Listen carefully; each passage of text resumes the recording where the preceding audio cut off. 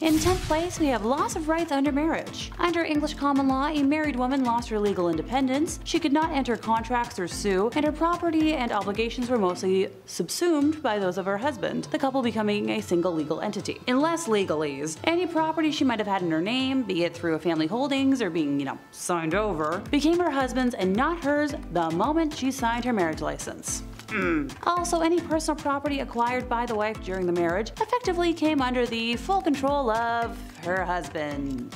A married woman was unable to dispose of any property without her husband's consent, and upon divorce, women generally had no rights to any property accumulated during marriage, usually leaving them uh, impoverished. Women were able to retain some property they possessed prior to marriage in certain cases during a divorce. Certain cases. So if your dad gifted you, say, a summer home for safety, and you wanted to divorce your husband and take back that uh, rightfully given home for your new home, yeah, uh, Good luck getting that back. Besides the dowries, prenuptial agreements effectively allowed married women to maintain beneficial interest in her previously owned or inherited real property, which was placed under trusteeship, allowing her to have a separate income from her husband. Moral of this story, Sign the damn prenup. In ninth place, we have a uh, lack of consent in marriage. So in addition to losing your rights over whatever property you brought into the arrangement, if you are a girl like me, consent and rights over your own body um, didn't exist. Marriage overrode a woman's right to consent to sexual intercourse with her husband, giving him effective ownership over her body. Honestly, just add it to the dowry list. Insert man's name here uh, is to be gifted however many gold coins, couple of cows, the right to my land, oh and the rights to do what he pleases with my body. Am I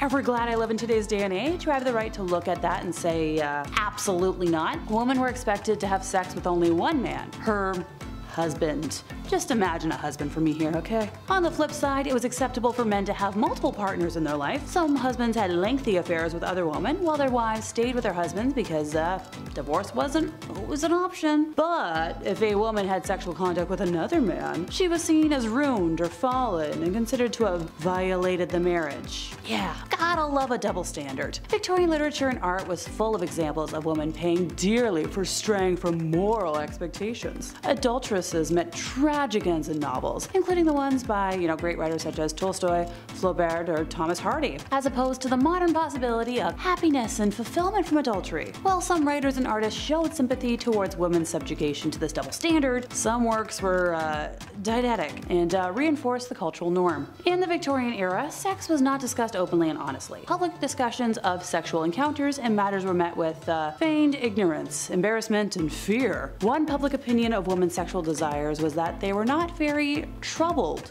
by sexual urges. Even if women's desires were lurking, sexual experiences came with consequences for women and families. Limiting family sizes resulted in resisting sexual desires, except when a husband had desires which, as a wife, women were contracted to fulfill. To discourage premarital sexual relations, the new Poor Law provided that women bear financial responsibilities for out-of-wedlock pregnancies. In 1834, women were made legally and financially supportive of their illegitimate children. Sexual relations for women could not just be about desire and feelings. This was a luxury reserved for men. The consequences of sexual interaction interactions for women took away the physical desires that woman could possess. In eighth place, we have purity culture. The ideal Victorian woman was pure, refined, and modest. Makes me gag to say it, but here goes nothing. This ideal was supported by etiquette and manners. The etiquette extended to the pretension of never acknowledging the use of undergarments, which would be referred to as unmentionables. The discussion of such a topic, it was feared, would gravitate towards unhealthy attention on anatomical details. As one Victorian lady expressed it,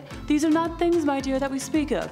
Indeed, we try not even to think of them, in contrast to the modern norms of frank and constant discussion of, you know, details.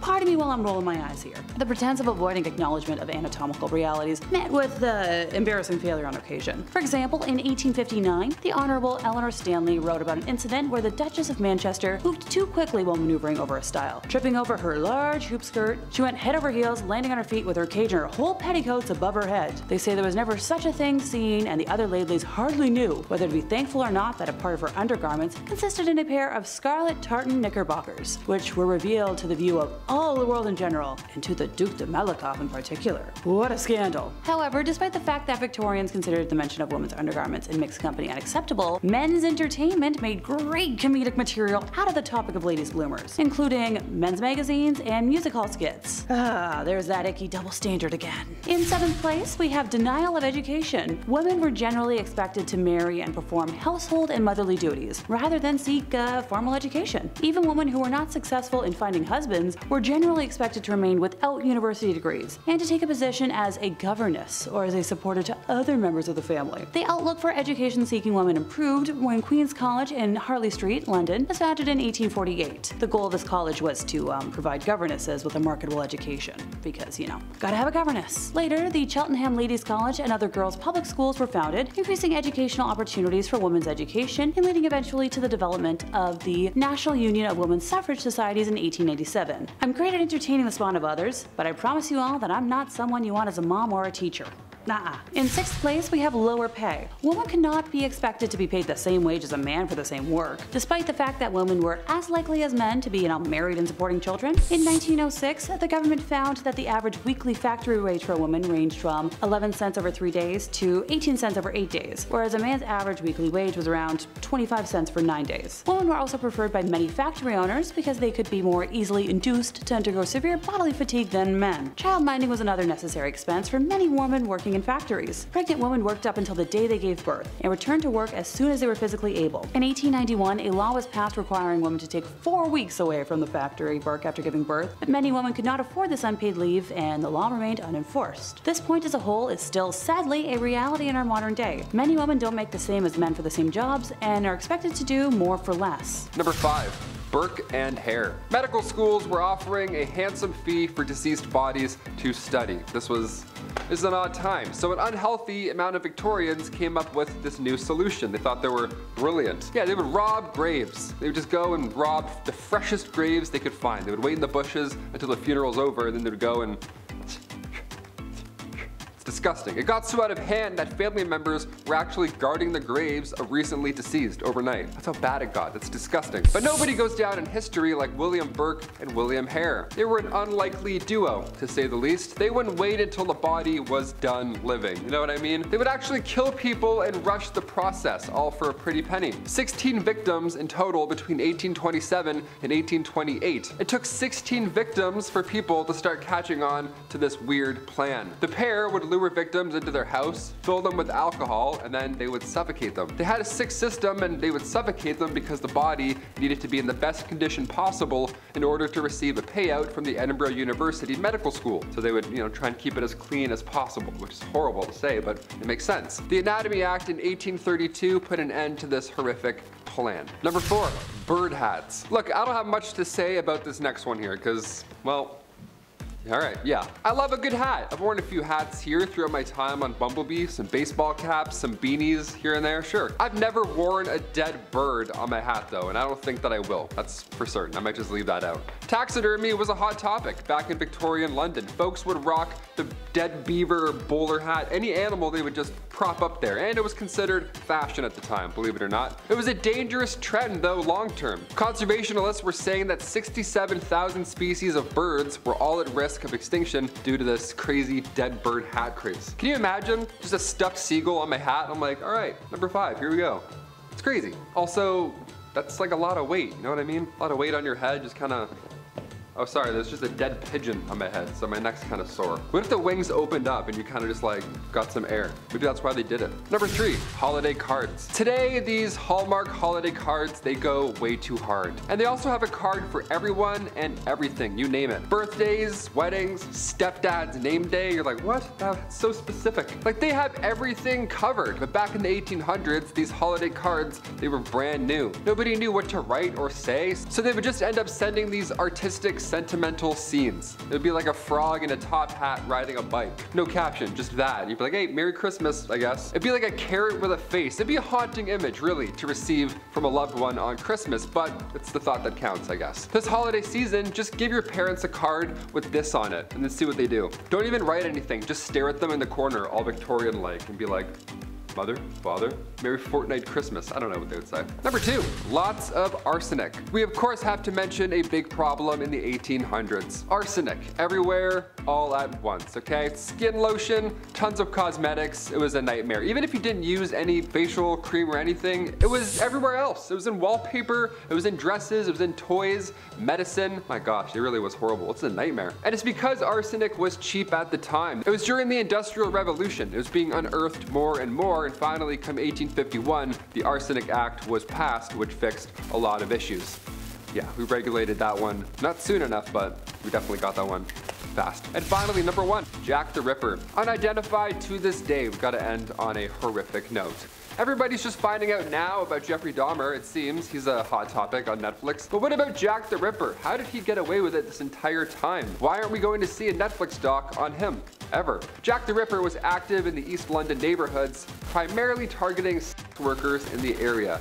Now, at the time, the murders of five women from August to November of 1888 were believed to have been connected somehow to Jack the Ripper, although some sources claim that he was active even until 1891. Again, we're never going to know at this point. Many believe Jack the Ripper had some anatomical knowledge due to the way that he left his victims. I can't really say anything else because it's disgusting, but yeah, he knew some things, disgustingly. And while there were some suspects, including a member of the British royal family, believe it or not, Jack the Ripper was still never identified. In 10th place, we have deadly party games. So back in the day, board games weren't the massive industry they are today, and Victorians loved their parlor games, even more so when they risked their lives doing it, because, you know, why not? One such game was called Snapdragon and involved pouring raisins into a bowl, soaking them in rum, and setting them on fire before scrambling to remove as many raisins as possible and chomp them down while they were still aflame, because, you know, why not? Another game was called Hot Cockles, and I couldn't make all of this up if I tried. Blindfolded and with your head in someone's lap, partygoers would take turns kicking you in the rear end, and then you uh, had to guess who it was that kicked you. This sounds not only uncomfortable from the start, but like it could quickly get out of hand, and my tailbone hurts thinking about it. Yet another game was called Cellar Stairs, and involved walking backwards down a flight of stairs using a handheld mirror as your only guide. Supposedly the features of your future mate would appear in the mirror, but it seems more likely that you would just, you know, fall down the stairs, and I know I would've. My balance is not the best. Finally, there's the Candle and Apple game, sometimes called Snap Apple. The game was so popular in the 18th and 19th centuries that Halloween was often referred to as Snap Apple Night. Candles and apples would be hung from the ceiling, and the goal is to get a bite of the apple without consuming any wax or getting burned. As a former altar girl who used to play with wax, ouch!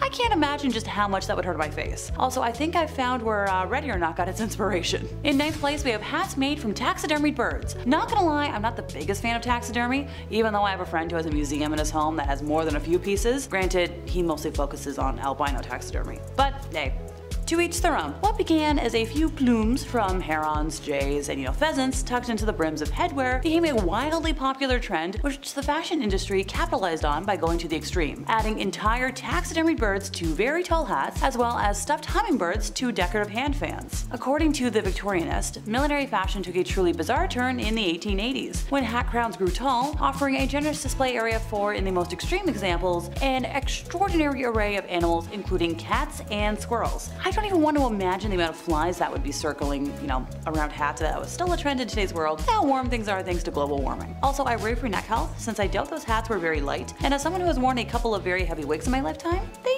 take a toll. In eighth place, we have Victorian death photographs. So photographs of loved ones taken after they died may seem kind of morbid by today's standards, but in Victorian England, they were a way of commemorating the dead and blunting the sharpness of grief. Remember, unless you were rich enough to have a painting commissioned, there really wasn't a way to preserve visual proof that someone existed and how they looked for future generations. In images that are both unsettling and strangely, you know, fitting, families poise with the dead, and consumptive young ladies elegantly recline, the disease not only taking their life, but, you know, increasing their beauty. Victorian life was full of death. Epidemics such as diphtheria, typhus, and cholera scarred the country, and from 1861 onwards, the bereaved queen made mourning fashionable. Trinkets of memento mori, meaning remember you must die, took several forms and existed long before Victorian times. Long exposures when taking photographs meant that the dead were often seen more sharply than the slightly blurred living, because of their lack of movement. On some occasions, eyes would be painted onto the photograph after it was developed, which was meant to make the deceased more lifelike, while other times death was a lot more obvious. Locks of hair cut from the dead were arranged and worn in lockets and rings. Death masks were created in wax, and the images and symbols of death appeared in paintings and sculptures. But in the mid 1800s, photography was becoming increasingly popular and affordable, leading to memento mori photographic portraiture. Try saying that five times fast. The first successful form of photography, the daguerreotype, was an expensive luxury, but not nearly as costly as having a portrait painted, which, like I said before, that was the only way you could do it first. As the number of photographers increased, the cost of daguerreotypes fell. Less costly procedures were introduced in the 1850s, such as using thin metal, glass, glass or paper rather than silver. Pricey, pricey silver. In seventh place, we have uses for arsenic. Pardon me, uses other than ending lives. But, you know, that also makes me want to consider a top 10 creative ways to dispose of people. Worth a ponder. Arsenic invaded almost every aspect of life in 19th century Britain, leaving a tool of death and illness. A byproduct of an emerging smelting industry, arsenic was cheap and readily available as rat killer by uh, the early 1800s. It was also odorless and tasteless, and easily confused with flour or sugar or other cooking essentials. By the mid 18th 1930s, morbid descriptions of death from arsenic terrified the public and became a staple of the British popular press. But most of the fatalities from arsenic were more pedestrian, from accidental use in food or from exposure to arsenical compounds in consumer goods such as fabric dyes and wallpapers, in facilities that made these products, and in the polluted air. Arsenic was used even in medications to treat everything from asthma and cancer to reduce libido and skin problems. Now, Victorians were just as obsessed with their bodies as we are, if not more dangerously. Many women used arsenic to fight wrinkles, and men swallowed arsenic tablets as kind of a pre-Pfizer Viagra. It's unclear if arsenic can actually be used to um, turn compasses to true north, but it doesn't seem advisable to try it. I feel like there are much safer ways to get a uh, motor running if you will. In sixth place, we have wasp waists. We all know that corsets were a thing in the Victorian era, but they were much more extreme than most people might think. Many women cinched themselves down until they had very tiny wasp waists. With super snug corsets that didn't just rearrange your insides, they made it impossible to breathe. Now, before anyone starts calling all corsets or stays awful to wear. They're only bad for your health if you're trying to accomplish the above improperly. As a gal who corsets often for fashion and posture purposes, I've only ever experienced discomfort when they weren't properly fitted, like when, or when I was wearing them for too long, or when I was wearing the combination of a too small steel-boned one outdoors in the cold for too long. But this is a do as I say and not as I do kind of situation, since that was like a one-time thing and my ribs have very much learned their lesson. Long story short, corsets are not bad, you just have to wear them properly. You trust me, right? Number 5 hand stitchers. Yeah, this one's not as stinky, sure, when you think of these jobs, but it still sucked. With the rise of industrialization, many garments and household items were still hand sewn. Hand stitchers, again, often young women, they would sew clothing, linens, and other products using needles and thread. They worked in tight factories, overcrowded workshops, or sometimes in their own homes, often under poor conditions and for low wages, really low wages. The demand for hand-stitched goods remained high as mass production techniques weren't widespread yet. It was close, but once sewing machines came into the picture, yeah, it eventually led to the decline of hand stitchers, which is good, right? I don't know, I'm torn because part of me is like, like, awesome, they don't have to do that by hand anymore. Then I'm like, ah, their only job was replaced by machines. So I'm like, eh, I don't know, I really don't have this one. Number four, bone grubbers. Again, sounds like it's gonna suck just from the name. A bone grubber? What does that do? Bone grubbers were these individuals who scavenged animal bones for various purposes. They liked all the bones. That's all I'll say. They loved any and all bones. You can figure it out. They collected bones from landfills, battlefields, and even graveyards. These bones were used for making fertilizer, bone meal, bone utensils, fancy. Let me grab my bone fork cheers, and even crafting tools. Bone grubbers worked in poor conditions and faced controversy for their activities because, you know, they would uh, steal bones from fresh graves, so more than fair, I'd say. As regulations on waste management in graveyards tightened, the practice of bone grubbing declined and hopefully disappeared forever. Because, uh, yeah, stop, yeah, thanks, stop stealing my aunt's femur. Get out of here. Number three, chimney sweeps. These ones were horrible. Uh, this one really sucked. I'll say what I can here without breaking YouTube guidelines, but yeah, these lads here, these chimney sweeps, they were younger gentlemen. As homes and factories heavily relied on coal for heating and manufacturing, chimneys became clogged with debris more and more every day. It's looking yucky up there. Now, instead of an old man who's broken, they would send in these, again, young lads, quite young lads, all I'll say. The shorter the better, right? Get them up there. Chimney sweeps would climb up narrow and dark chimneys using brushes and scrapers to remove all this horrible buildup. It was really not a fun time. Yeah, that's really all I can say about it. The work was dangerous, it exposed them to toxic fumes, and the risk of getting stuck or falling, well, that surely didn't help. Eventually, thanks to public outcry and legislation, this job disappeared in the late 19th century. Although I remember cleaning my chimney when I was younger. Hmm, I'm gonna call my dad after this list. Number two, a tosher. Being afraid of rats and the dark, well, this is quite impressive to look back on. A was a person who ventured into the dark and filthy underground sewer system in search of valuable items. Anything, really. I mean, we're down here, anything good. Anything that's not soft, we'll take it. Toshers would navigate the labyrinth tunnels armed with a long pole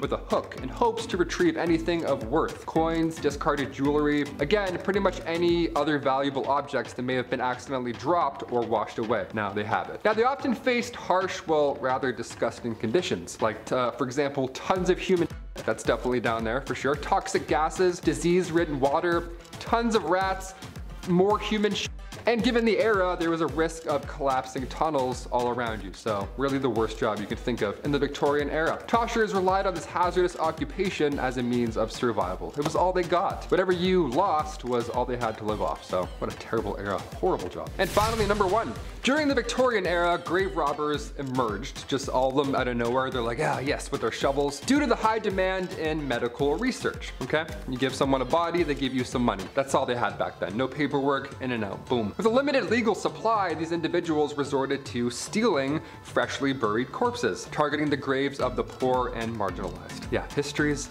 so scary, so disgusting. Armed with shovels, again, just coming out of the bushes with their shovels in hand with their uh, weird I don't know, who does this? They operated at night, of course, employing various techniques to avoid detection. Obviously, they did this like they were Batman. They didn't want to get caught because that's a little illegal. The stolen bodies were then sold to medical schools and private lectures. Public outrage led to the Anatomy Act of 1832. Thank God this was passed. This is a really fun one here. This legalized the donation of unclaimed bodies to medical institutions and reduced the need for grave robbery and established a regulated source of supplies. Instead of dudes just finding random people buried in random places and then bringing them in. That's, I'm glad we got rid of that. That's good. I thought dissecting a frog in science, I thought that was weird, but where'd those frogs come from? You know what I mean? Number 10 is chloroform the hiccups away. Nowadays we know a nasty case of hiccups is curable by just holding your breath or chugging a bunch of water. But if this was 1899, you'd be prescribed chloroform. Known by many as the mysterious liquid on the rag placed over the someone's face to make them faint in many period pieces or cartoons, chloroform gained popularity after Queen Victoria demanded its usage during her labor in 1853, after having been denied it in her previous labors. By taking these lengths to reduce the annoyance of hiccups, your vital organs may pay a steep price. Chloroform has the potential to damage the nervous system, lungs, and trachea, as well as the liver and kidney when exposed long term. This is just one of many medical remedies that we'll be covering from the first Merrick Manual of Diagnosis and Therapy, the oldest continuously published English language medical textbook. All the quack treatments in our list today used to be found in this mass encyclopedia. For instance, number 9 in our countdown is smoke inhalation for asthma and other lung conditions. This may be one of the more counterintuitive remedies on our list, as it's easy to see now that smoke is not beneficial for asthma at all. Through the late 19th and into the next, however, inhaling smoke or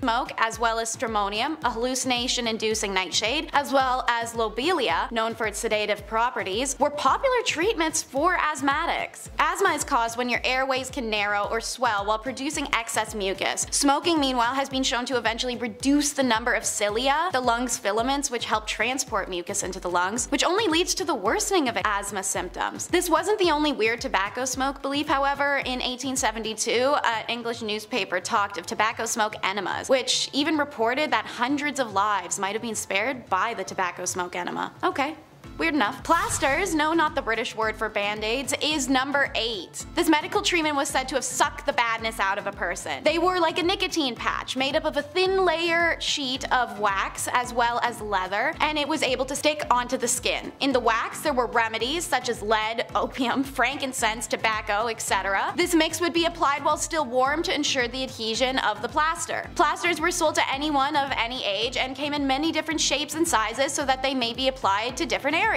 areas. What were they used for? Everything. Cough, cold, period pain, organ failure, alcoholism, headache, the list can go on forever. Seeing as they wanted the patch to pull as much badness from the body as possible, these patches could be left on for two days, to two weeks, to forever. Without washing, of course. Naturally, these patches trapped in a lot of moisture that could cause infections, blisters, rashes, and hives underneath, especially once the patch is removed and the skin is finally exposed to air. Arsenic, like plasters, was a cure-all, and it's number 7 in the countdown. If you've seen our other video, Top 10 Unusual Fashion Trends from the Victorian era, you might know that arsenic was in everything in the Victorian era. Makeup, wallpaper, dye. No exception was made in medicine either as arsenic was prescribed for anything from anemia in Merrick's diagnosis manual to anthrax, cancer, reduced libido, syphilis, or even cholera. While it was most popular to consume arsenic, it could also be inhaled or injected. Being a byproduct of smelting, it's no wonder arsenic was everywhere during the Industrial Revolution as there was an excess of it. So it was incredibly accessible and a household remedy. Since doctors already prescribed it to do so much, everyday people just start to use it to treat any common ailment. Unsurprisingly, many people suffered arsenic poisoning symptoms. The ailments are now referred to as Fowler's disease. Number 6 is all kinds of gross and questionable. The everlasting pill. When the Merck manual was first published, part of the comprehensive treatment plan for an eruptive fever, which is a classification for diseases like scarlet fever, smallpox, and chickenpox, was actually laxatives. Castor oil was the main laxative choice for Victorians up until the debut of the everlasting pill, made up of a metal now known to be toxic called antimony, would be invented. Swallowing this would induce severe vomiting and diarrhea, thus giving the body what they thought to be a healthy cleanse, and their intention was to purge diseases from the body. It earned the name the everlasting pill as the pill would pass through the gastric system mostly intact, meaning it could be retrieved and cleaned for future use. Seeing as the metal was greatly valuable at the time, it was quite common to keep it in the family and hand it down generation to generation. Imagine getting that in your granny's will. Watch out, it may shock ya. Number 5 is shock treatment. When profit can be made off of insecurity, unsavory business flourishes. Victorians honed in on the man's moral weaknesses as a cause for erectile dysfunction, and impotence was thought to be caused by either too much sex and masturbation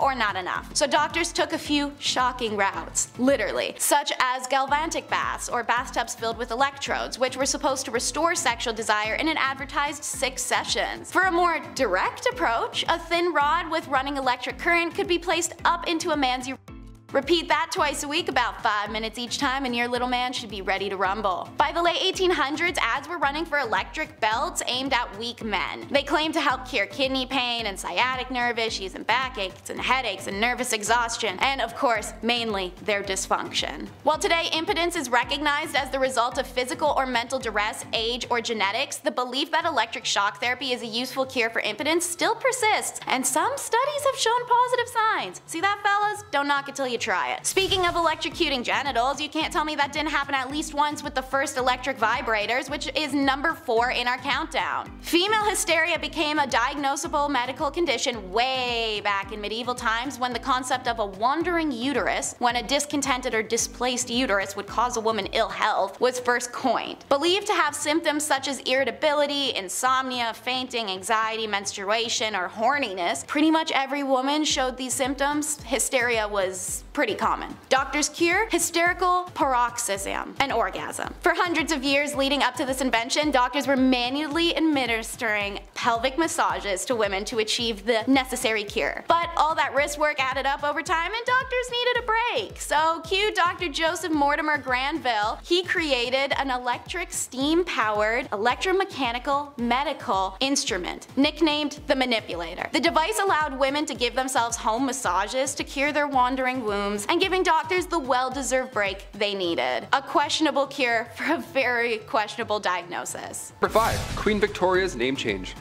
Every year on May 2-4 we set off fireworks then we have way too many hot dogs. It's the best. We call it Victoria Day. Right? It's for sure called Victoria Day, right? Well back in 1819, Victoria was christened in an almost private ceremony. It was small, obviously. Victoria's uncle only let a few people attend. Like I mentioned in part 1, she had an isolated childhood with the whole Kensington system that was no way to live.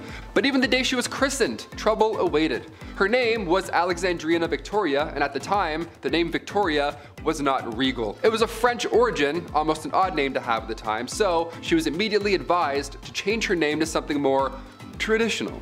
But as our calendars can definitely confirm, she said, nope, I'm good. Victoria Day. Yeah, it's definitely Victoria Day. Number four, tattoos. I only have the one tattoo, but I've always wanted more. Just not so good with needles, you know? I got my eyebrow pierced and I fainted. It's a fun fact, I have a little scar there. Not great with needles.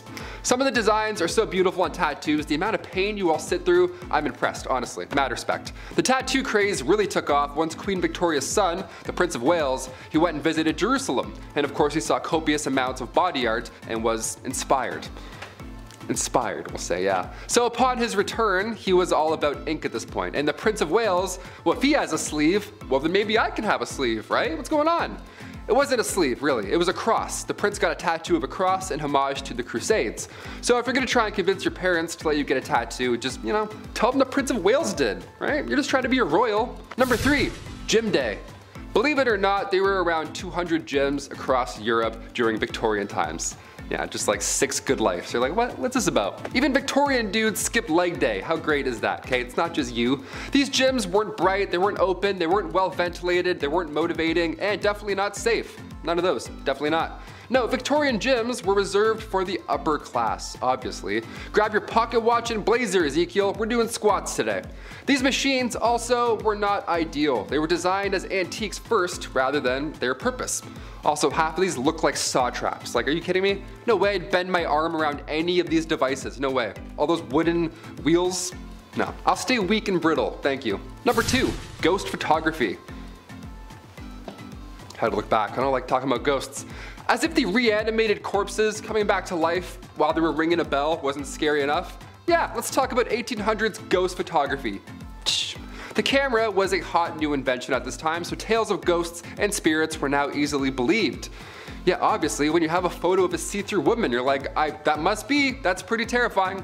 A big name in the ghost game was a man named William Thomas Stead. He was born in 1849 and Stead was the son of a Congregationalist minister and at the age of 22 he was appointed as editor of Northern Echo, which was a regional newspaper in Darlington. So far, so good. This British medium, Richard Boursnell, featured a photo of W.T. Stead and a real spirit. Yeah, imagine that. Imagine a day where somebody being awarded the Nobel Peace Prize also poses for photo ops with ghosts. You're like, I don't, do we believe all this or none of this? What's going on? This is so scary. And finally, number one, music for eternity. Before we wrap up this wild part 2, I had to include perhaps one of the creepiest patents of all time. Patent numero 9,222,059. Yeah, the number is going a little bit higher. This one got me thinking. I wanted to end this video off on this note. I like this idea. Maybe, I don't know yet.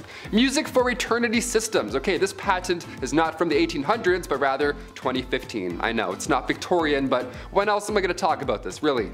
The idea here is that you could stay connected to your loved one by using a solar-powered digital music player. The best part here is the patent details how surviving family members now have the ability to update, revise, and edit stored audio files and programming after burial. Yeah, next Rihanna album, no problem, I got you. There's a speaker in the casket and there's a headphone jack on the tombstone so we can listen together. And then we can decide if we hate the album. That's creepy. I wouldn't do this. Would you want this? Sound off below if you'd want, you know, big shiny tunes playing for eternity after you die. Number 10, Mudlarks. Victorian London. Around the 1840s, it was a bit of a mess. Yeah, a lot of sore throats, that's for sure. Everybody was sick all the time and the jobs that were available certainly did not help the cause. The jobs that were available had you catching rats and crawling into sewers. One of the worst jobs to have was that of a mudlark. As their name hints towards, a mudlark involved getting in deep in the muck that builds up alongside the Thames River. This one was reserved for younger folks, obviously, because it was like working in quicksand. If you were older, you would just get trapped. It was pretty sad. It was also exhausting, not to mention the chances of being washed away by the river were pretty high all for the slim chance of finding a pocket watch, driftwood, rags, anything really worth your troubles. Number nine, chimney sweep. I remember when I was younger, I had to sweep the chimney in the house every now and then, whatever, and I personally, I loved it. You know, I thought I was the father of the house for a bit, getting in the chimney, getting all dirty and stuff, doing this, my hands on my my waist. I don't know, that's, that's, that's what a man was when I was younger. That little broom too, I love that little broom. I remember when I would do this, my grandmother, who is very English, she would be shook. She would watch the entire time. She would be taken back into time because this was a terrible job to have in Victorian London. I was Yeah, it was not the same at all. Chimney sweeps were famously young. I can't say anything else there in regards, but yeah, they were wee lads, to say the least. History is horrible. 1840 was a good year, all things considered, because a law was passed that then made it illegal for anyone under the age of 21 to climb in and then clean a chimney. Thank, thank God, I'm glad that stopped. I was 18 cleaning my chimney. I had no idea I could have used this great law. Been like, actually, mother, a lot of claws. Number eight, funeral mute. Funerals suck, man. I was a pallbearer like three times before the age of 21. My one arm is just strong as now, that's it. I can lift anything just with one arm. I thought being a pallbearer had a lot of pressure, right? Victorian London, saw many, many funeral mutes. Oliver Twist, one of those lousy jobs in that tale was that of a funeral mute. Funeral mutes were required to dress in all black with a sash while carrying a long cloth covered stick and your job would essentially be to stand and mourn silently at the door of the recently deceased home. Yeah, guy dies of a plague and you're like standing there like holding your breath like great, this is the worst job ever. You would then lead the coffin to the graveyard, so a lot of responsibility. Yeah, don't trip or breathe. Number seven, toilet troubles. Now, the Victorian era was unsanitary, to say the least, but it was also dangerous in ways that you wouldn't expect, right? Go to the bathroom and may not come out. One of the greatest Victorian inventions was that of the bathroom, but it took a few tries to figure out the whole, you know, methane gas problem. We gotta really deal with that one first and foremost. Spontaneous combustion of the bathroom was weirdly common. This would, uh, this is every time you take a shit, you were worried that you might just Woo! It was horrible. That's so scary. Flammable gases like methane and hydrogen sulfide, they would build up over time with human waste. Human, a, a, a, lot of human waste. Built up in the sewers and then eventually would back up into your homes. Next thing you know, you're lighting a candle and your bathroom's gone. Just like that. Now we have Poo-Pourri. You know that is? You ever see a little spray after you go, you just you hide what you've done with one little spray at your friend's house. It's fascinating how far we've come. Number six, stairs. Yeah, believe it or not, stairs were a common danger in Victorian times. I'm somebody personally who falls up and down stairs a lot. I'm 6'2", I'm lanky as shit. I have like a Gumby body. I walk around like Woody. I'm always falling up and down stuff. It's horrible. Especially in Canada. It's so slippery. I'm always always slipping all the time. In Victorian times, I would have been doomed. Houses were thrown up comedically fast. There wasn't a Mike Holmes on Homes to come in and check it out. There wasn't a building inspector that made things, you know, safe. Servant staircases, they were tiny. They were out of sight. They were built into these narrow walls, often missing steps that they had to and cut corners just to, you know, be narrow and out of the way. That plus a tray of hot soup and a lot of clothing, yeah, it was next to impossible to move around without something happening. A lot of fatalities in staircases. Even today, around 12,000 people die each year falling downstairs. Hold on to that railing. I'm here to remind you hold on to that railing. It's crazy. There's actually no stairs there. I just made that whole thing up. Hit that like button for magic. Number five, automatic smoking machines. When I read about this, I actually laughed my ass off for like a minute straight. I get some of these inventions or where these inventions were trying to go. Like an indoor saddle, sure, that's fun, I guess, if you want it to be. The mask at the time was thought to have beauty benefits. The automatic smoking machine was all bad. I don't see any good thing about this thing. It's not even designed well. It looks like in the corner. It was just a machine that smoked all of your cigarettes. Yeah, it smoked them automatically and then blew the smoke all over your curtains. What a great invention. Nice, 10 out of 10. Gonna review that. What a perfect addition to the family. This thing, first of all, was not small. It was not petite. It looked like a saw trap placed in the corner. It was so Victorian and scary looking. There's gears and pulleys and they're like, there's smoke pluming out of random places. It's like having a choo-choo train in your house. Who wants this? A choo-choo train that gave you lung cancer. Nice, score. Merry Christmas. Yeah, fire it up. It only takes 80 cigarettes at a time. I know. Number four, the surprise chair. Are you tired of sitting down on chairs that you know, stay still and don't immediately topple back once you apply any amount of pressure? Well, don't I have just the thing for you? Here we go. The surprise Victorian chair. I guess it was invented for laughs in a world before Netflix. Sure, I guess you have to be creative. There's no sign of practicality in this patent, so we're gonna go ahead and assume that these 1800s folks, they were hilarious. They loved a practical gag. I'm not even gonna say prank. Don't even make me say prank, YouTube. Not saying the P word. The patent shows the exact science here and what it takes to surprise your guest and then have them topple to the ground. I go, ah ha ha, then you bring them back up and then give them the real chair. This is a prank gift, and if we've learned anything in time, getting prank gifts, it only works once. So once you get your pal to take a topple in the 1800s, you would then have to store this heavy, antique, horrible looking heavy chair somewhere in your home and then bring the real chair back. Again, it sounds like way too much effort for a very low payoff. Imagine that, 400 pound chair. They're like, eh, gotcha.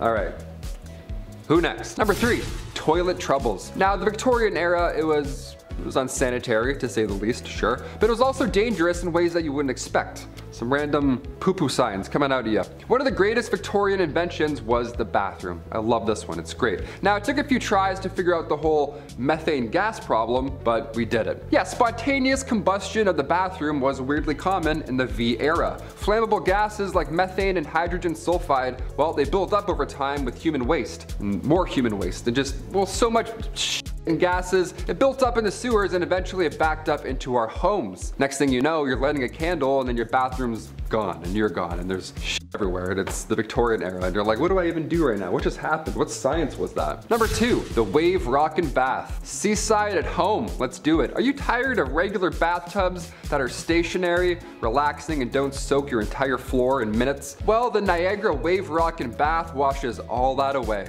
Yep, see you later. This bathtub was designed to rock, literally. It kept your blood in active circulation, apparently, and it only required three pails of water, also bull. The patent promised the fullest illusion of a sea or a river bath, whilst promising absolutely no water will splash on the floor. Yeah, good joke. No way that's gonna happen. And it didn't happen because that's way too good to work out. Imagine having this now growing up. Are you kidding me? My mom would be yelling at me to clean up the floor immediately. I already made enough splashes with just a stationary bathtub. I don't want a, a rocking bathtub. I'm trying to rinse my hair. I'm like, this sucks everywhere. It's so stupid. Just doing this is so stupid. Looking at lights. Finally, number one, beauty patches. Oh, we need to bring back beauty patches ASAP. Imagine me right now doing this list with an 800s beauty patch you'd hit that thumbs up immediately. You'd be like, this Victorian man is straight out of time. These patches came in all shapes and sizes. Now, even in this portrait from 1755, quite a ways ago, Joshua Reynolds painted Charles, the ninth Lord Cathcart, rocking a large beauty patch. These beauty patches go way back. Also, look at him. That's a lord right there with that He's confident. Got one of those, he's great. Beauty patches in the 1800s, they were small, tiny circles, sometimes even hearts or stars, which is, that's pretty fun, you go. Now the reason for these patches, and sometimes having more than one, is because they were commonly used to cover up smallpox scars. Yeah, we found out your secret, you Victorian era gentlemen. They were made out of silk velvet and they were applied with glue, so if you pick a spot, you better be confident. The patches were dark black and they were also meant to make your pale skin pop, which again, imagine if I had one right now, you'd be blind. I'm so pale as is already. If I put one of those patches on, I'm gonna be able to see the screen. You turn that brightness down real quick. The position of these patches could also determine your political allegiance. Historian Joseph Addison took note of these positions when observing two political parties from back in the 1800s.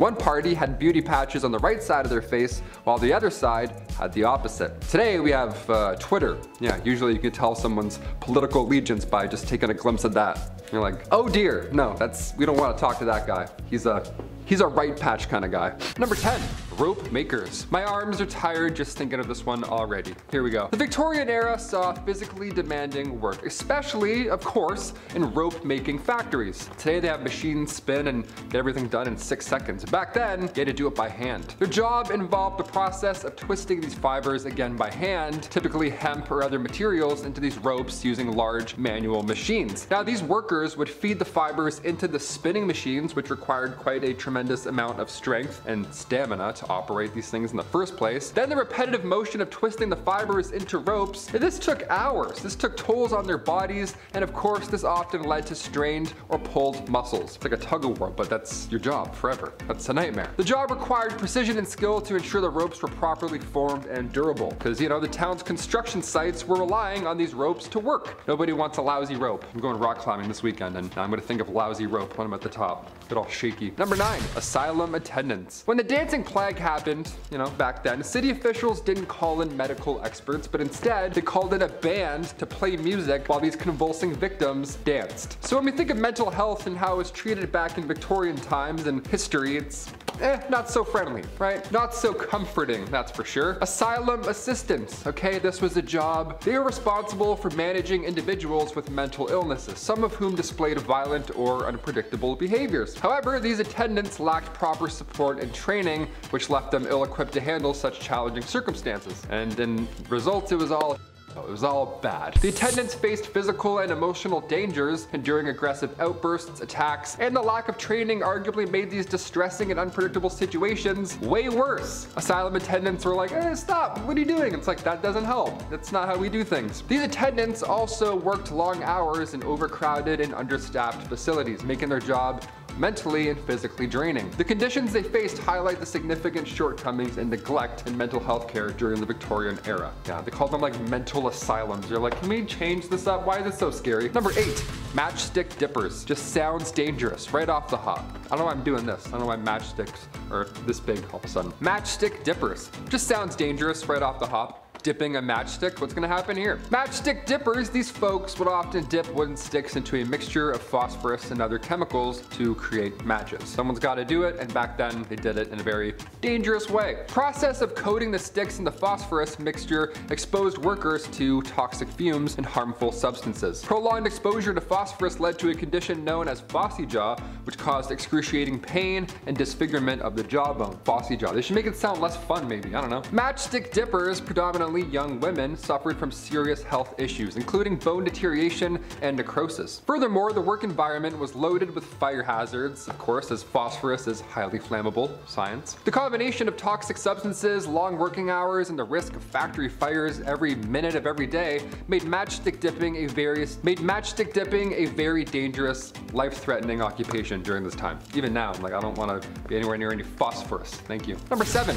crossing sweepers. Back in the Victorian era, crossing sweepers were these individuals who earned a living by sweeping and clearing the streets for pedestrians to cross, right? Today we have the big scary thing with wheels, the big scary Decepticon looking truck that goes by and blows debris into your eyes with the spinning brushes. In the olden days, that was done by hand, just one dude. Streets during this time were often dirty and filled with mud, horse and other debris, just every, everything bad was on the streets. Crossing sweepers used brooms and brushes to create a clear path. Crossing sweepers used brooms and brushes to create a clear path, and in return, they would ask you for a small tip or payment from those who used their services. They're like, here, I cleared literal for you. How about a dollar? Thanks. They were especially common in urban areas where foot traffic was high, like downtown. Crossing sweepers were quite young. They were you know, really young, if I can say that, if you get where I'm going there. And they relied on filthy streets as a mean to survive. So what a horrible, what a horrible scenario. Number six, human alarm clocks. Halfway through, we'll get a little fun, then we'll get back to the weird stuff. Human alarm clocks, also known as knocker-ups or knocker-uppers, which sounds a little different nowadays, so we'll go with human alarm clock. One of the weirdest jobs ever. I kind of wish this was still a thing. I don't know, I'd apply in a heartbeat. Knockers, knocker-ups, these guys, they single-handedly provided a unique wake-up service during the Victorian era for phones and clocks and all that helpful stuff. Before the widespread availability of alarm clocks, especially among the working class, everybody who had places to be, well, a knocker up has your back. He'd come and smack your window six times and then run off into the woods. What a great job. I kind of want this job. They would use long sticks or poles, whatever, just to tap your bedroom windows. Tap your windows and scare you awake. That often works. Shoot out of bed every morning. That's great. Think someone's breaking into your house. These individuals were typically paid a small fee for their services, which is wild wild considering what they're doing. Knocker-ups played a crucial role in the industrial areas with the rise of affordable alarm clocks. The need for these guys sadly disappeared. But you know what? Let's bring it back. Let's get rid of alarm clocks. They're all scary. Get these guys to come and tap on your window. Hey, you have work, get up. You're like, thanks sir, please get out. Number five, bloomers. Bloomers were one of the first styles of pants women gravitated towards in the Victorian era. They were worn in rebellion of the often unruly skirts of the day, which made it hard to move around and, well, honestly probably do anything. Female cyclists instead preferred to wear bloomers, causing much scandal as people felt it was improper for women to dress so masculinely. How dare you. Basically, bloomers are like more floofy pants is how I would describe them, and people felt that pants should be reserved for men to wear. Even the floofy ones. They were like, women can't have any pants, not even floofy pants. I gotta say, I would totally rock some Victorian era bloomers and be causing all the scandals myself if I were around back then. They definitely look more comfy than pretty much almost everything else women were wearing. The bloomers got their name from a prominent American feminist of the time, Amelia Bloomer, though she herself did not invent them, but she was a person that basically spoke out and was like, why can't women wear pants? Although Amelia Bloomer did fight hard for women's rights, she herself is not someone I believe we should just straight up glorify to be clear. She also said some pretty terrible things about Native Americans, and she also seemed to be content with civilians taking the law into their own hands and literally hanging people deemed undesirable in their community. So it's a big yikes from me. Number 4. Corset. Corsets didn't originate in the Victorian era, but they definitely became iconic in regards to the fashion of that time period. That's because slim waists, they came back into fashion, baby. They also became iconic for the fact that they were causing great damage to the people wearing them. Well, I too do love to don a corset from time to time. It is important to make sure that you don't push it when you're wearing them, and it's important to remember that this extreme form of shapewear literally has a history of moving people's insides around as a result of wearing them daily or even just regularly. Honestly, even me wearing it every now and then is not good for you. Just corsets aren't good for you. So even just wearing a corset, you know, every now and then, it's not good probably shouldn't do it. I probably shouldn't do it, but am I gonna do it? Yeah, probably. And even back in the Victorian era when they were trending again, we knew that corsets were bad for you. And it made this item quite the risque one despite it at the time being coveted and widely used by many out there. That was actually like even a topic back then. People were like, shouldn't people be wearing these? This seems dangerous. Number 3. Flashing. Some ankle! can't see it on camera, I can't show it to you because it'd be too scandalous. So scandalous! As silly as this sounds now, especially with it being summer right now, as I'm talking about this, a time when being underdressed is really just being comfortable. This was, in fact, a huge thing in the Victorian era. Women were often covered head to toe from the top of the neck all the way down to the ankles. It was common for women to even wear multiple long skirts and stockings in an attempt to just fully cover their legs and ankles. So those who decided to flash a little bit of ankle with their fashion choices, woo! They were considered quite risque. Number 2. Hoop skirts. As deadly as they were definitely fashionable during part of the Victorian era. The hoop skirt, also known as caged crinoline, was a type of skirt that was built like a cage. There's various different ones which were made out of different materials, but the idea is it's literally a big hoop cage that you wear and then you put a dress over top of that, or a skirt over top of that. The idea was to add volume to the bottom of your outfit which would also help to make your waist look even slimmer. Something that was very fashionable back in the day and something still coveted by many in regards to modern beauty standards today. Hoop skirts though were deadly because you would often misjudge the size of your skirt, which could cause all kinds of accidents. Also, many of the materials used to build the hoop skirts and dresses that went over top were very flammable. Many people died from catching fire or getting their skirts caught in machinery or even carriage wheels. So yeah, don't wear a hoop skirt if you have to do anything or be, be near flames or just be alive in the Victorian era because there were open flames like everywhere. number one, the One Piece. I like that I saved this one for number one. I didn't realize I was doing that, but I knew subconsciously. The one-piece swimsuit created quite the controversy when it, it, came into fashion near the end of the Victorian era, and the really wild thing is it initially pretty much covered almost like your entire body. But, and it's a big but for this era, it was very fitted. So because it hugged the body, as swimwear really should do so that you can, you know, actually swim, it was considered to be quite scandalous. Not only that, but of course the One Piece also wanted to maintain your modesty by not having your skirt float up in the water around you, giving everyone potentially a free show. So it was fashioned to be pants, you know? Oh boy, a woman in pants without a skirt? Scandalous scandalous. How dare, how dare these women try to swim? We didn't say women could swim. Someone put a law so that these women can't swim. Kicking off the list at number 10, dark dining. I don't know about you, but I can't eat in the dark. I need to see every single bite that I'm eating, okay? Call me crazy. Part of me wants to go to a restaurant where you can't see anything, but I know that I won't make it all the way through. I can't do it. I like, I have a thing. I have to just, I'm not blindly What if it's not cooked? I don't know. Back in the Victorian era, dining in complete darkness wasn't just a date night. It was actually the best way to digest. Or so they thought. That's why many Victorian era homes had their dining room set up in their basement. How random is that? Oh, do you guys have poker nights down here? Nah, just brunch. Kill the light. what? How do you like your eggs? Turn off the light. what are we doing? Number 9. Saved by the Bell. I'm sure you've heard about this at some point, but allow me to go into grim detail. In the late 1700s, cholera, bacterial infections, everything bad, you name it, it was all spreading. Not an ideal time to be alive. Many were biting the bullet at this time, of course being gravely ill, but with this came a dark trend. The safety coffin. Yeah, we got a safety, we got the safety dance, now we got the safety coffin. Here we go. These coffins, I mean, God forbid you were buried alive, these safety coffins would allow the dead to rise again and exit said coffin. A lot of these coffins have extra comfort on the inside and, of course, a wire. This wire ran through the coffin, through the ground, and attached to a bell on the outside. So if a passerby heard it, one, that would be so scary, but if they heard it, they would know something's up and they would help them out.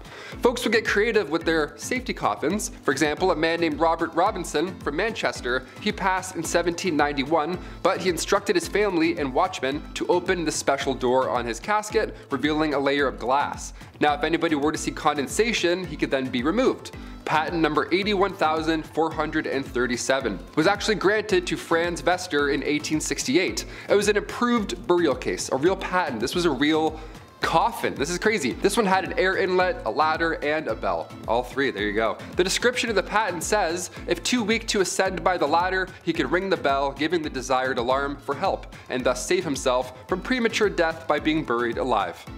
Nice. You thought you died. Psych, climb this ladder. There you go. Good luck getting out. Now you're in an escape room. Enjoy. You only get two hints.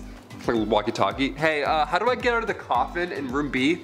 Number eight, no air. Now that song's gonna be stuck in your head. Jordin Sparks, a classic. Since we're on the topic of safety coffins, I had to include one more. Maybe two more, I'll never tell. This one is fascinating. The science involved here was honestly impressive. There was the classic wire and bell method, but the more sick people got, the more creative they had to become. Like for example, patent number 268,693, John Krichbaum's device for indicating life in buried persons. Yeah, an 1882 classic, we love this. We got the iPod Nano, they got the device O Life.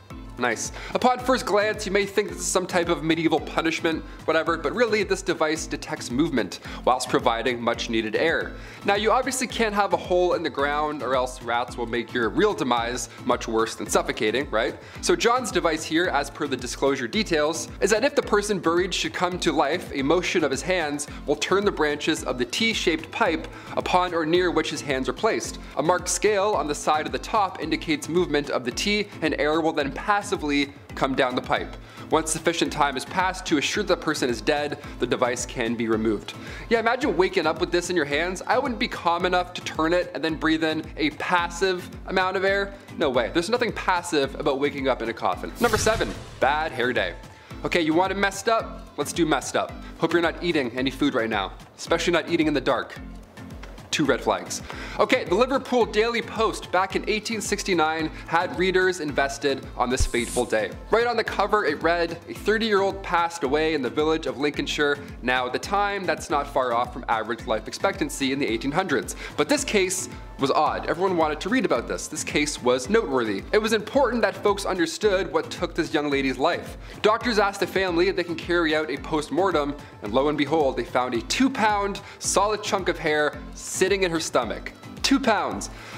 That's what, what happened. That's how she met her fate. That's horrible. This ball of hair caused an ulceration of the stomach and ultimately caused her death. The woman's sister did note that over the last dozen years or so, she had casually been eating her own hair. So at this time I say, if you know anybody eating hair, send them this link. It's not a good idea. Cut that out. Stop doing that. Number six, the Great Famine. Weird time to talk about a famine after the hair incident, but okay, here we go. Back in 1845, a potato crop that a lot of the Irish population relied on was no longer available. This was huge. This is bad history right here. A group of microorganisms wiped them all out and in result, around 1 million folks died or had to leave. It was draconian law at this point and British ruling that made the exported food hard to reach people. This famine led to Irish independence and anti-union movements.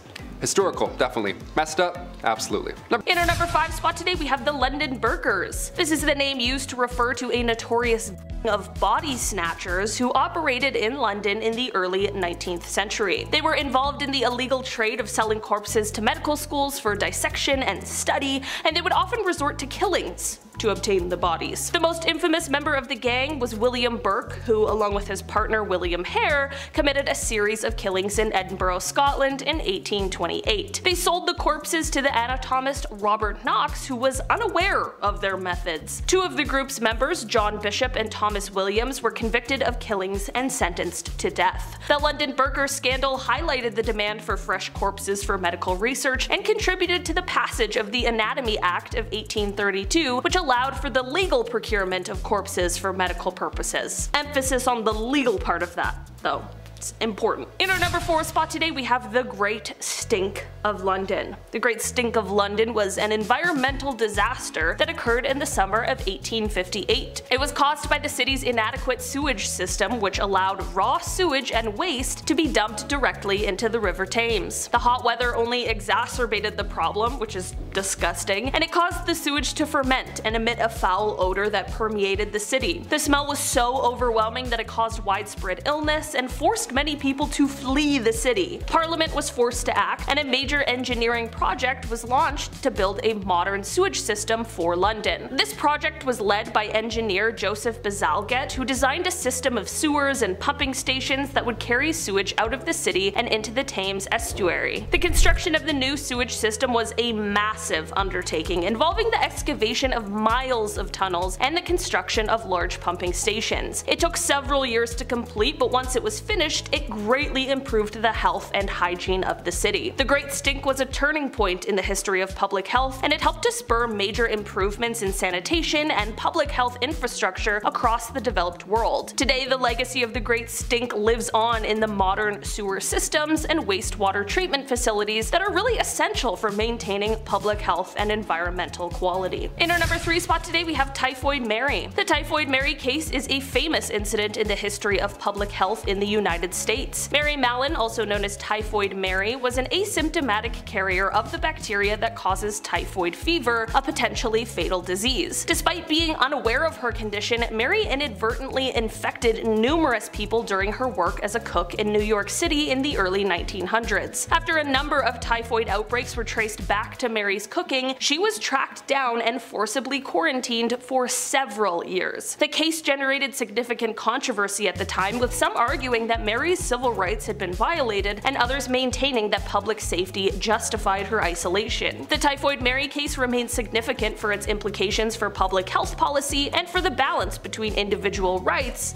and public safety. In our number 2 spot today we have the Birmingham riots. These riots took place in 1839 and they were a series of violent clashes that occurred in the city of Birmingham, England. The riots were sparked by tensions between two groups, the Chartists who were calling for political reform and greater democratic democratic representation, and the authorities who opposed the movement. On July 4, 1839, a group of Chartists held a rally in Birmingham's Bull Ring where they were met with opposition from local government agencies. The situation quickly escalated into violence with protesters and authorities engaging in brutal clashes that lasted for several days. The Birmingham riots of 1839 were significant for their role in the history of the Chartist movement, and it is said that the events of 1839 demonstrated the lengths to which authorities were willing to go to suppress the movement. And finally, in our number one spot today we have the Brown Dog Affair. This was a controversy that arose in the early 20th century in London over the use of animals in medical research. In 1903, a statue of a brown dog was erected in Battersea, which had been used in vivisection experiments by a scientist named William Bayliss. If you're unfamiliar, vivisection is defined as quote, the practice of performing operations on live animals for the purpose of experimentation or scientific research. While I am all for the advancement of science, I do believe in ethical studies and this clearly was not that. The statue was intended as a memorial to the countless animals that had been used in medical research, but it was met with outrage from some people. Anti-vivisection groups saw it as a symbol of animal cruelty, while some medical researchers saw it as an attack on their work. In 1907, a group of medical students attacked the statue during a protest, sparking a violent confrontation with anti-vivisection activists. The statue was eventually removed by authorities, but the controversy continued to rage on for many years. The brown dog affair highlighted the deep divisions in society over the use of animals in medical research and contributed to the development of new laws and regulations aimed at protecting animal welfare. Number 10.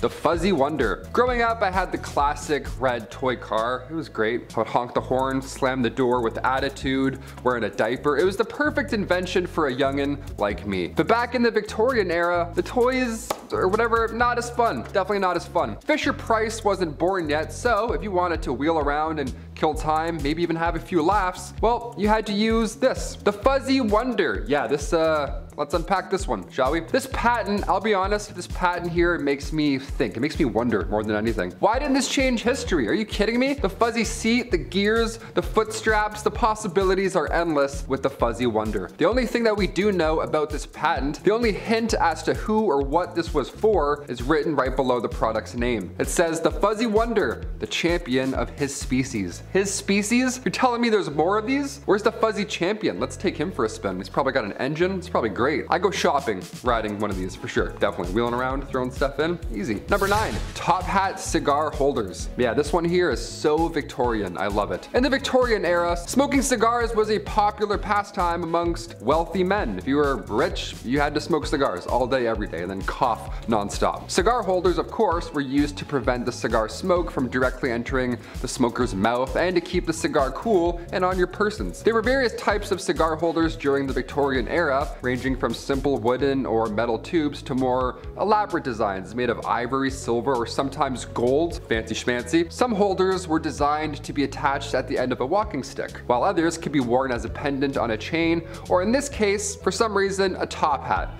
Yeah, why is there smoke coming from that man's head? I wonder if he's okay. Oh, he's just bad. That's cool. My mistake, sir. Continue on with your Victorian cigar stroll. Yeah, people's heads were smoking. They would keep all of them lit on their top hat. What a weird place to hold them. Cigar holders were often personalized with the owner's initials or family crest, and they were considered a status symbol although it looked ridiculous on a top hat. This was a way to flex your wealth, you know what I mean? There were no broke boys walking around with top hats, no way. Or cigar holders on said top hats, no way, that's insane. That's a lot of weight on a hat. I'd be, I'd be doing this a lot. Number eight, the fork and knife cleaner. In theory, in the Victorian era, this one sounds great, but it also seems like way more effort than just hand washing, you know? I don't know, let's talk about it. Invented in 1850 by Thomas Parker in Kensington, the knife and fork cleaner in the 1850s, it was pretty significant. It was a big improvement in the process of cleaning cutlery, a bit I guess. Prior to this invention, cleaning knives and forks was a time consuming and often challenging task. Definitely harder than it is today to wash a dish. The knife and fork cleaner consisted of a handheld device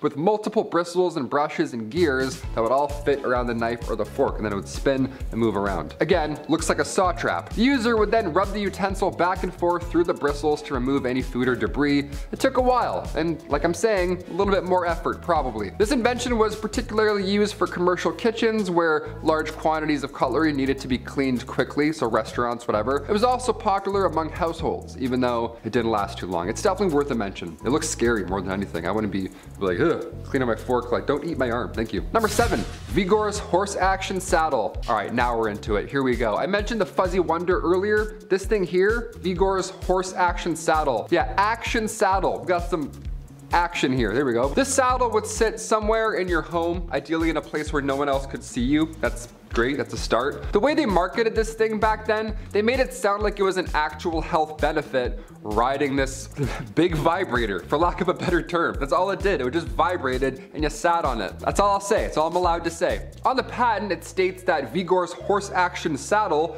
can promote good spirits, it quickens circulation, it stimulates the liver, and probably other places, and it even creates an appetite. Yeah, all that and a thing that shakes you up in the corner of your house. Imagine it's the Victorian era and you have to watch your drunk uncles take turns riding this thing all weekend long. This is far too intimate for the family room. This is kind of gross. Yeah, it vibrates a lot and really hard, so that's it. You can do the rest. You can think the rest of the thoughts, dirty freaks. Number six, the toilet mask. Madame Rowley's toilet mask. Okay, where do I even begin with this one? At first, I thought that this was a mask that you had to wear while you took a I mean, Compared to everything else on this list, I was like, yeah, sure. People would wear the Phantom of the Opera masks every time they had to go to the washroom. Probably, who knows, they were weird back then. A toilet mask was not that. I mean, not too far from that. The toilet mask was a natural beautifier for bleaching and preserving your skin. Victorian bleach. Easy, that's fun. The patent even stated that this mask would remove complexion imperfections. Complexion imperfections, see you later. Huh, what a treat, how lucky are we? All you have to do is wear this mask three times a week. For how long? I don't know, doesn't say. Just feel it out, I guess. Just feel out the bleach. Turns out lead cosmetics pasted onto a mask and bleach, turns out it was not beneficial for your health at all. Who knew? Not me. Ah uh, yes, let me put on my bleach mask before, well, I can't breathe or see anymore. Never mind, I'm gonna stop wearing that. Victorians actually liked to collect weird stuff so much they made curiosity cabinets. Victorians were curious people with an interest in nature, the sciences, anatomy, botany, and morbidity. And for the upper class citizens, collecting scientific objects showed they were sophisticated and educated, often displaying their collections in a curiosity cabinet. These German cabinets were a way for the wealthy to show off their hobby. Oftentimes beautiful wooden display cases with elaborate carvings and glass fronts, or a larger, narrow, open shelving style bookcase. Curiosity cabinets were usually kept in places where guests could see them to stir conversations about the pieces. And collecting was a social activity that allowed you to share your interests and also show off what you knew in a humble manner. Many curiosity cabinets were eclectic, filled to the brim with unrelated mixed oddities. Although most collectors were not formally trained, this never deterred anyone and even working class people started collecting items like buttons, fetishes, pocket-sized portraits, stones, and animal bones. Death, insect, and human oddity photographs were as popular as Pokemon. Even oddity performers made business cards called carte de visite, a small photograph card collectible of themselves. Joseph Merrick, a professional showman known as the Elephant Man, was a popular carte de And he worked for the next topic on the list, the freak shows. It was a weirdly massive part of the Victorian culture described as a family-friendly commercial event. They were the entertainment pinnacle. The name itself is offensive and many Victorians even then boycotted the shows for its mockery and ableism. But the shows acted as a source of solace for performers that were often disabled or had genetic differences that made them potentially rejectable from society and potentially their own families. In the Victorian era, asylums were hellish and if that was your option or a job in the circus, many made the choice to live in a welcoming community of similarly ostracized people with differences. Siamese twins, extra limbs, excessive hair growth, malformation, and many married and had children and functioning lives of normalcy despite making a living performing for audiences as freaks. Their stories embody the magnificent resiliency of human spirit, and they make a killing off the lustuous need for weirdness in the Victorian era, emptying wallets of people who wouldn't accept them outside of a show ring and living more financially secure than they did. The show started in the 1500s but hit their boom in the 1800s, and the best performers were often found in Queen Victoria's own court. Some famous names were Millie and Christine McKoy, John Merrick, Fanny Mills, Prince Randian, and Ella Harper. Next up is how Victorian oddity obsession literally irreparably destroyed a ton of history. Egyptomania. It began in 1798 with the launch of Napoleon's campaigns in Egypt and Syria, a fitting example of imperialism when they find the Rosetta Stone. Europe goes on a mission to proliferate and appropriate any and all Egyptian antiquity or aesthetic, culture vulture style. The Egyptian obsession consumed Western thought, revealing itself through their literature, art, and culture at the time. This included their mummy unwrapping parties and novels such as Arthur Conan Doyle's Lot 249, and also their decor. Anyone who could afford to travel to Egypt could realistically afford to buy a mummy because they kind of sold them at bazaars like Barbies at Walmart. When it came to mummy unwrapping parties, Victorians let their intrigue cloud their, let's see, judgment, human decency, morals, conscience. Man, am I missing anything? It was a form of entertainment that was a complete desecration of Egypt, its people, and their ancestors. Thomas Pettigrew, who was a surgeon, antiquary, and an author, was a well-known unroller. At one notable gathering for the unwrapping of Neskhons, the second wife of Theban high priest Pinedjem II was placed in a contraption that made her appear to dance. The demand for mummies to take home was so high that Egyptians even started transporting them from less visited ruins to areas that got more traffic. Hundreds are now lost, as are their tomb locations. These gatherings thankfully died out in the later years of the 19th century, not because Victorians realized their inhumanity, but because of boredom. Because the Victorians were greedy, nothing filled their interest for very long, except occult and spiritualism.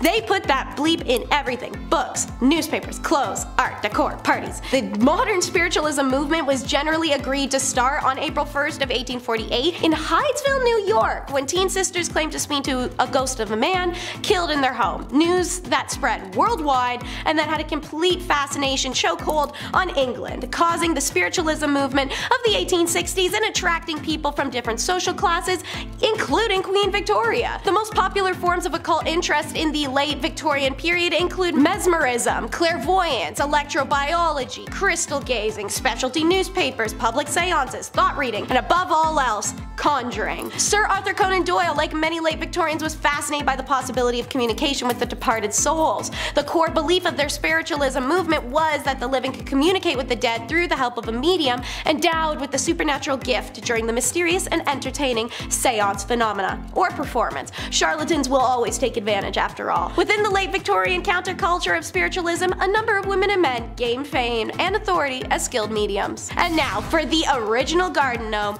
the dirty old man in the backyard.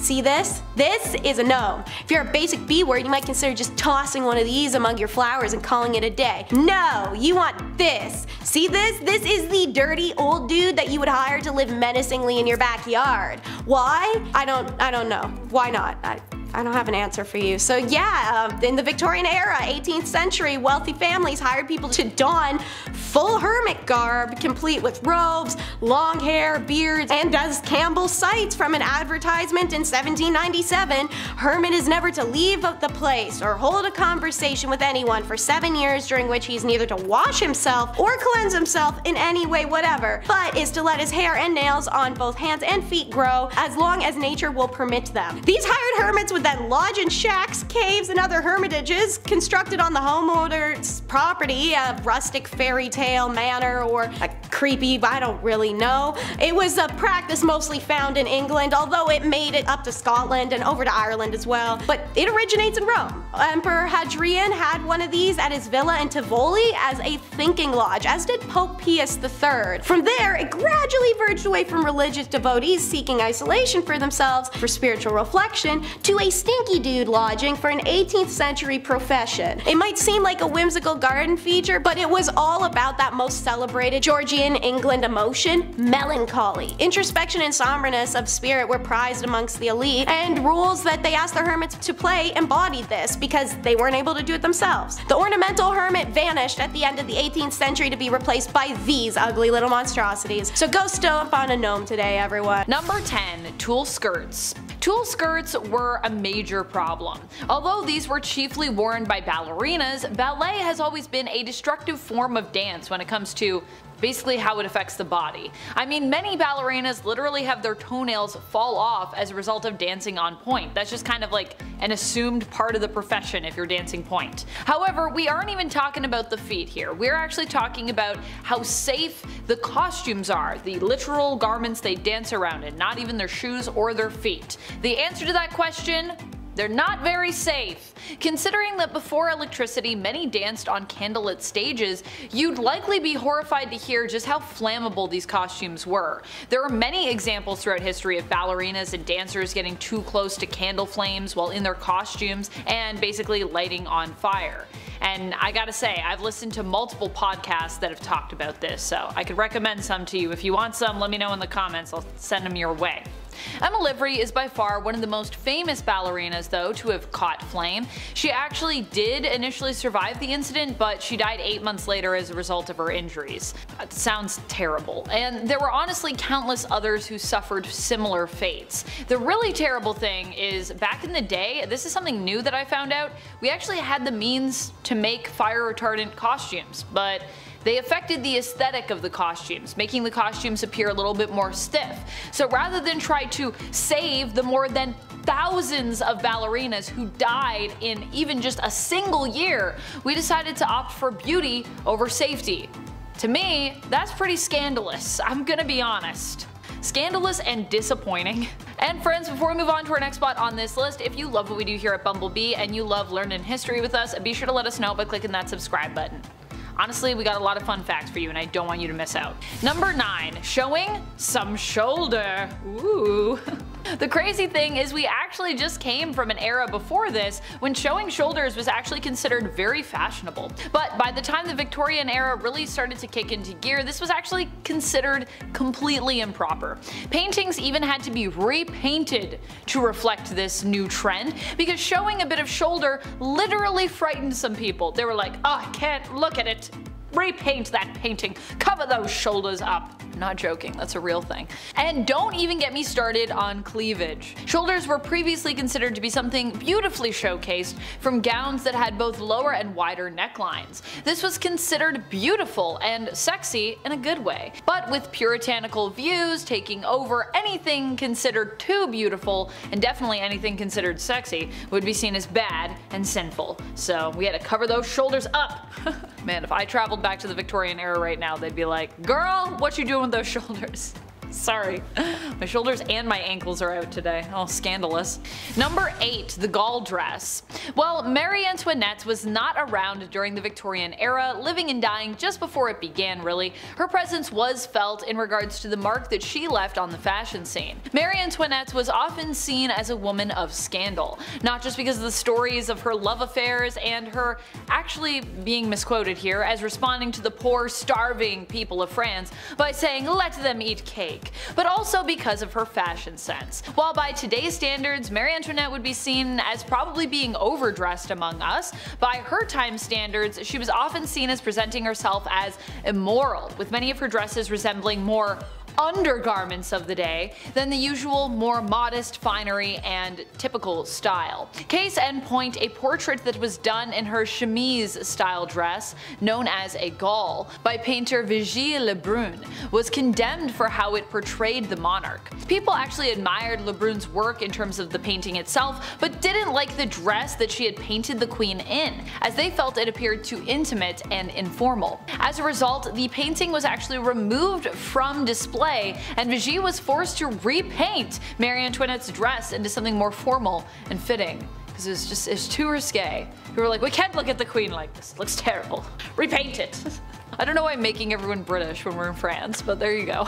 Number 7. Fainting Room. By today's standards, fainting rooms might seem quite scandalous, and while they were very fashionable back in the day, often being linked to corsets, at least so we think.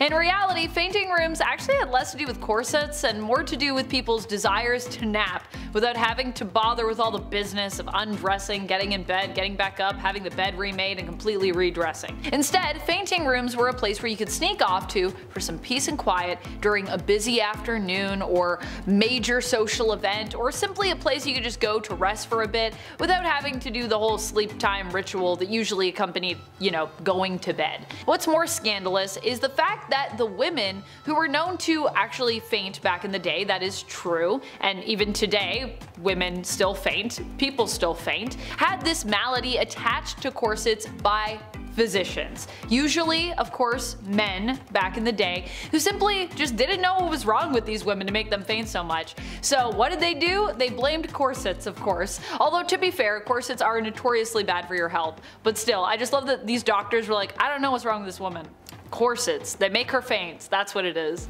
Probably iron deficiency, heat, being overdressed in the heat, there's a lot of reasons why people faint. Number 6. Scheele's Green. This dye color became super popular in the Victorian era, but is also known for being literally made out of poison. If you're worried that women of the day didn't know that at the time, uh, nah, they were actually informed on this, yet they still chose to wear this color because, I mean, it was simply too gorgeous. Hey, it's worth it. A little bit of arsenic poisoning, no problem. It did cause symptoms of arsenic poisoning among those who wore the dresses dyed with this color because I mean it's dye, it's, this fabric is still rubbing up against your skin, still getting absorbed through your pores, but it actually caused even more harm to those who made and dyed the garments with it because you know they're the ones actually breathing that in and stuff. Yikes. Number 5 in the countdown is all about buggy dresses. The wealthy Victorians were very into the grandeur, looking to feed a fascination with culture especially. Beetle wing embroidery was at a peak of fame in the 18th century India and was quickly appropriated by English visitors while military occupied the country from 1858 to 1947. Elytra, which is the hard casing over a beetle's wing, first appeared on dresses and experienced their first burst of popularity in England by the 1820s, though English women in India had likely been donning it since at least the 1780s. Material used was often white or other pale colors to help augment the reflective green tones of the beetle wing.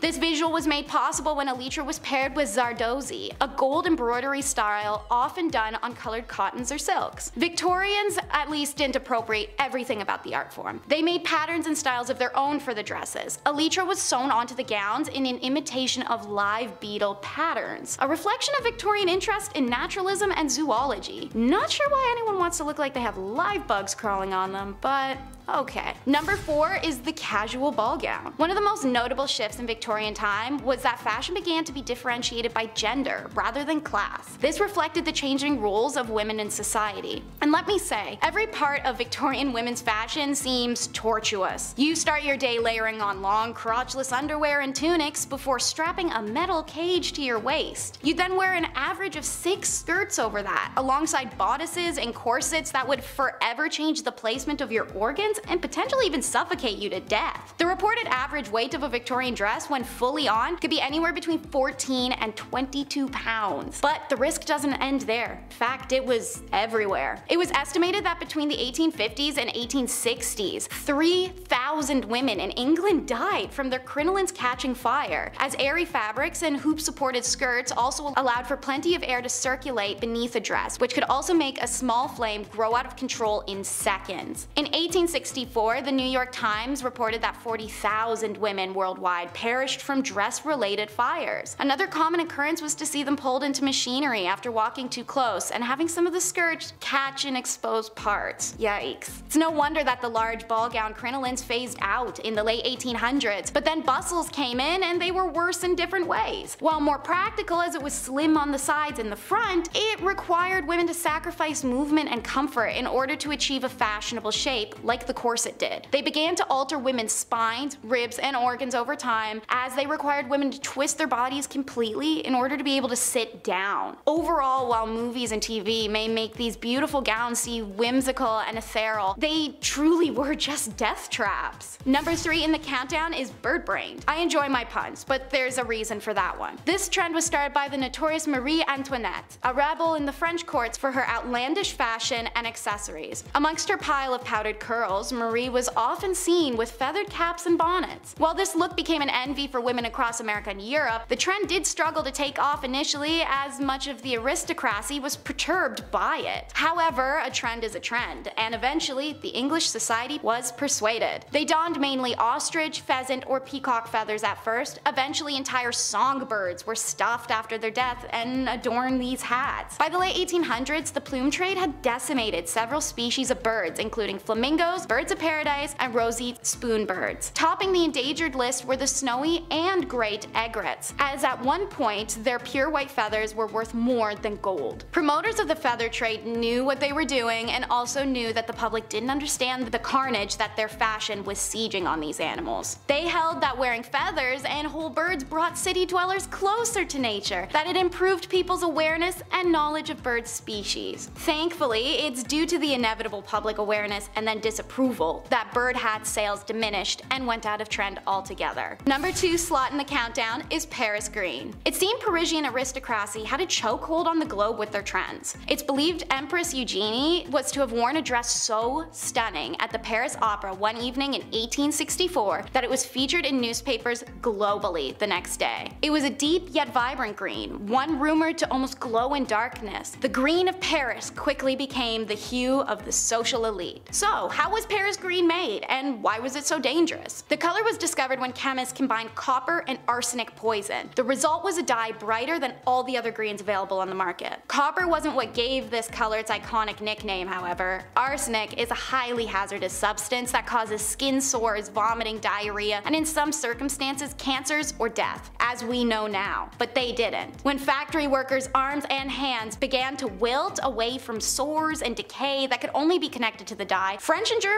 governments enacted legislation prohibiting the production of arsenic-based pigments. It's the right thing to do. Meanwhile, the British government mainly ignored them, even when Matilda Scheurer famously died of arsenic poisoning with the whites of her eyes stained green from her working in factories. This was deemed accidental poisoning by the government at the time. Paris green remained popular in England until ironically it just went out of trend. It's a little bit of an abrupt ending honestly. No justice for those exposed in workplaces or compensation for suffering, but nothing takes the cake quite like the Victorian trend of looking dead, which is number one in our countdown. You'd figure people look dead enough as is inhaling arsenic and mercury from their clothes and shoes and hats constantly, let alone their home decor, but looking dead was the fashion of the day. This was specifically modeled after how tuberculosis affected you. Pale skin, watery eyes, red lips. While this disease was decimating the lower status, higher status women recreated it with makeup and arsenic consumption. You heard me right. In order to get pale skin, women consumed arsenic. In order to not die from arsenic, the consumer had to follow a careful process, eating small doses to build up a tolerance. Now arsenic is addictive, so if they at any point stopped the consumption, they would experience withdrawals such as vomiting, stomach pains, convulsions, hair loss, nervous system failure, kidney failure, delusions, the list goes on. Some women were stuck taking it for the rest of their lives. For the desired watery eye look, women would put citrus or even perfume in their eyes. Some went farther, using belladonna flower, also known as deadly nightshade, for longer lasting tears. However being poisonous, little wonder why blindness was widely reported as a symptom of belladonna drops. No wonder it did such a good job. Red lip paint included? You guessed it, more poison. In this case, usually lead. All of these poisonous products would contribute to illnesses and facial decay. Death was of course a long-term side effect of the usage once poisoning reached its crescendo. Suffice to say, while you may really want to fit in, some trends are not worth getting on board for, especially if they'll slowly melt your face off. Number 10. The Hobble Skirt. This is a bad idea written all over it. The Hobble Skirt, also jokingly called the speed limit skirt, was a dress with a very tight hem, making the poor lass who's wearing its movement, well, not having much of it. Can't have the wife running off from her home now, even if that, you know, that meant the home was not a good place and men acted really bad back then. But no, you can't have her running away. Apparently though, some were so tight that it caused women to fall, and in some extreme cases, I, I can't believe this, those falls were fatal. What? Number 9. Muslin dresses. Honestly, I can see celebrities doing this today. Okay, so the female figure. It's sleek, it's curvy, it's gorgeous. Today a girl's got some options on how she wants to flaunt what her mama gave her. You go girls. But back then, well, not, not so much. Except for the muslin dress, apparently, which I find strange at the time since seeing a woman's ankle could give a guy a stiff neck for hours, if you catch my drift. Essentially, this was a dress that you had to wet first, like a, a gentle misting, if you will. Yeah, weird, right? And then you'd wear it out. Now for the summertime, this makes sense, and honestly, I might support this myself actually. See the curves, stay cool. However, some stories tell us of women who wore this during cooler weather and then got sick. Fashion over function, ladies. Be careful. That's a silly one. Oh, 40 below, I better wear my muslin dress, yes, I'm just gonna walk out. Number 8, ladies wear. Okay, this is a general one, but ladies' dresses and wear in general was just ridiculous. I mean, I mean those big poofy dresses, it just seems like ladies had it rough. When have they not? Wear a dress that's too tight or so big you struggle to walk around. Not to mention the fancies of dresses have wire wood cages and frames. Just making walking around more difficult because yeah, that makes sense. For me, anytime I wear formal wear, I keep an eye out for bathrooms. You never know when you need to go. However, I just can't imagine trying to squeeze the lemon in those bad boys. Whew, that would be difficult. To make matters worse, there are stories of women wearing just regular big poopy dresses and then getting in accidents at factories. And yes, it was gruesome. And yes, they didn't make it out. And no, there's no movies about it. Stop asking. Number 7. Pestilence Fabrics. Last time I was talking about the Victorian era, I mentioned a few points on fabrics with harmful and dangerous chemicals, which happened more than it should have. Shouldn't happen at all really, it's kinda sad. Well, that wasn't the only fabric related issue that was out to get you back then. For example, wealthy people couldn't be bothered to do their own laundry. I hate doing laundry, I don't blame you. I'm not wealthy though. And sometimes would have them washed and taken away by launders who, well, wash clothes of the rest of the city. Being that clothes and washers themselves were poor, or that clothes were just mixed around regardless, well, that was an issue. There was a lot of sickness going around at the time and well, it was contagious. A lot of times these sicknesses would cling to fabrics and when given back to their customers, well, they could very well come down whatever London was feeling at the time. It doesn't sound like a lot of fun. I, I, I think I'll just wear more of my dirty stuff. I'll just wear my underwear for six months straight. Was white when I bought it, not anymore, but it's okay. Number 6. Lead. Here we go again. Lead. Just lead in general. It was used in so much stuff. Seriously, it, it's scary. Especially because they knew it was harmful. It wasn't a secret, they knew. I was gonna pick one leaded item, but I, I, mean I couldn't. I mean seriously, I know this is a list about fashion, but it was involved in some clothes making processes, it was it was in women's makeup, which that's also fashion, and it was in house paint, which I know that's not technically fashion, but it kinda is. Trust me, I used to mix paint before I was an internet comedian. I know the history of paint. Ask me your paint related questions in the comments below. I'm the guy you need to talk to. I mean, it was used in pipes too, and we drank out of those. It's just crazy. Now, it is one of those things that minor exposure to is fine, sure, but the thing was with fashion and beauty is that you probably would use said product every day, like the clothing or the makeup, especially the makeup of the ladies. Lead poisoning symptoms include headaches, stomach pain, constipation, infertility, and memory loss. Yikes, that's not fun. We don't like that here. Number 3 is not for the faint of heart. They loved leeches. It may be crazy to imagine, but between the late 1700s and well into the early 1900s, there was a booming leech trade all across Europe. Leeches were shipped from Germany to America by the tens of thousands. England even had to start importing them from France by the mid 1800s as their own leech stocks were not even enough to supply their own doctors. Francis Broussais believed that all diseases resulted from the excess buildup of blood and documented this belief in a medical journal that would would subsequently cause leeches to become the go-to treatment in France and then later spread across Europe. This usage of leeches then became worldwide from there, and so obscene that the creatures started to go extinct. However, what these quacks didn't know is that bloodletting was very very very rarely beneficial to any conditions, and applying leeches often resulted in detrimental side effects such as blood loss, diarrhea, and vomiting, or those with poor immune systems could even be exposed to hazardous bacteria and infection, let alone death from hemorrhagic shock for literally anyone they did this to. Eventually, the excessive use of leeches meant that they became too expensive to ship, too scarce due to the overfarming to find, and medically obsolete in the face of new science that questioned the medical merits of bloodletting. Thank God. Number 2 doesn't allow you to touch where number 1 usually comes out. It's the masturbatory mental illness. Obviously, it's natural, normal, and well, fun, but the Victorian perspective of masturbation was nowhere near what it is today, as our old timely friends saw it as a serious threat to mental and physical health or even could kill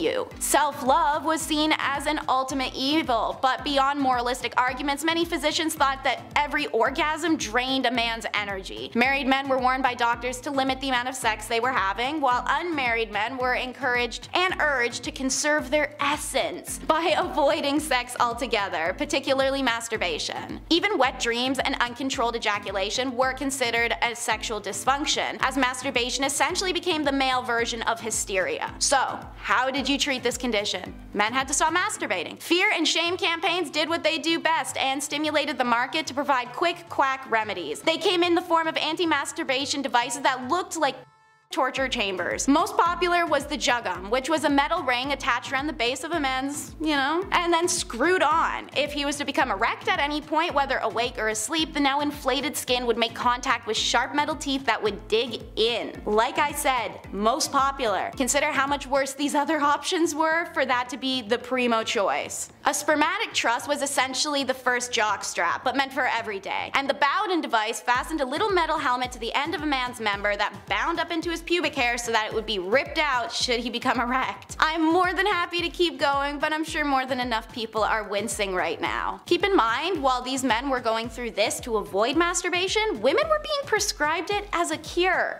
Number one on our countdown may be a bit of a surprise. Surgery. How could surgery be a questionable treatment? Well, it itself isn't, but the men performing it and their hygiene towards surgery were. Most famous is Robert Liston. Said to be able to remove a leg in 30 seconds, he notoriously used his own mouth to hold scalpels, knives, and even once sucked the pus out of a woman's throat wound. According to medical historian Dr. Lindsey Fitzharris, surgeons never washed their instruments or their hands, and Victorian surgeons were known for wearing old surgery garments hands out of prowess, reportedly so stiff with old blood that they were nearly cardboard in appearance. Even the operating tables themselves were rarely washed down, and it was said a visitor to St. George's Hospital in London 1825 discovered mushrooms and maggots thriving in the damp, dirty sheets of a patient's bed. When asked why they hadn't complained, the patient assumed this to be the norm. And what about surgery in the moment? Well, the patients were conscious and undrugged as they were operated on, and surgeries needed to be fast as a result. One in four people died after their surgery, whether it was still on the operating table or from infections afterwards. But what about her buddy I mentioned, Dr. Liston? Only 1 in 10 of his patients died. This was because of his speed. Time me, gentlemen, time me, he'd shout to the surgery spectators to put his legendary speed to the test. Sure, he did accidentally castrate somebody once because of his wild motions, but nobody's perfect. In fact, while he's remembered for being the first surgeon to use anesthesia, wash his knives, and invent a still used medical tool, he is the only surgeon to ever have a 300% death rate. I'd be remiss not to mention that during a leg amputation, his lightning speed reportedly cut off three fingers of the assistant who had been holding down the patient. Then, as he brought the knife back up, he slashed the coat of a spectator. The spectator reportedly died immediately of fright, likely a heart attack. Though the assistant and patient survived initially, like most who were treated in Victorian hospitals, they died not long after from infection, which was also just called hospitalism at the time because of how many people died that way. It's easy to say that going to a Victorian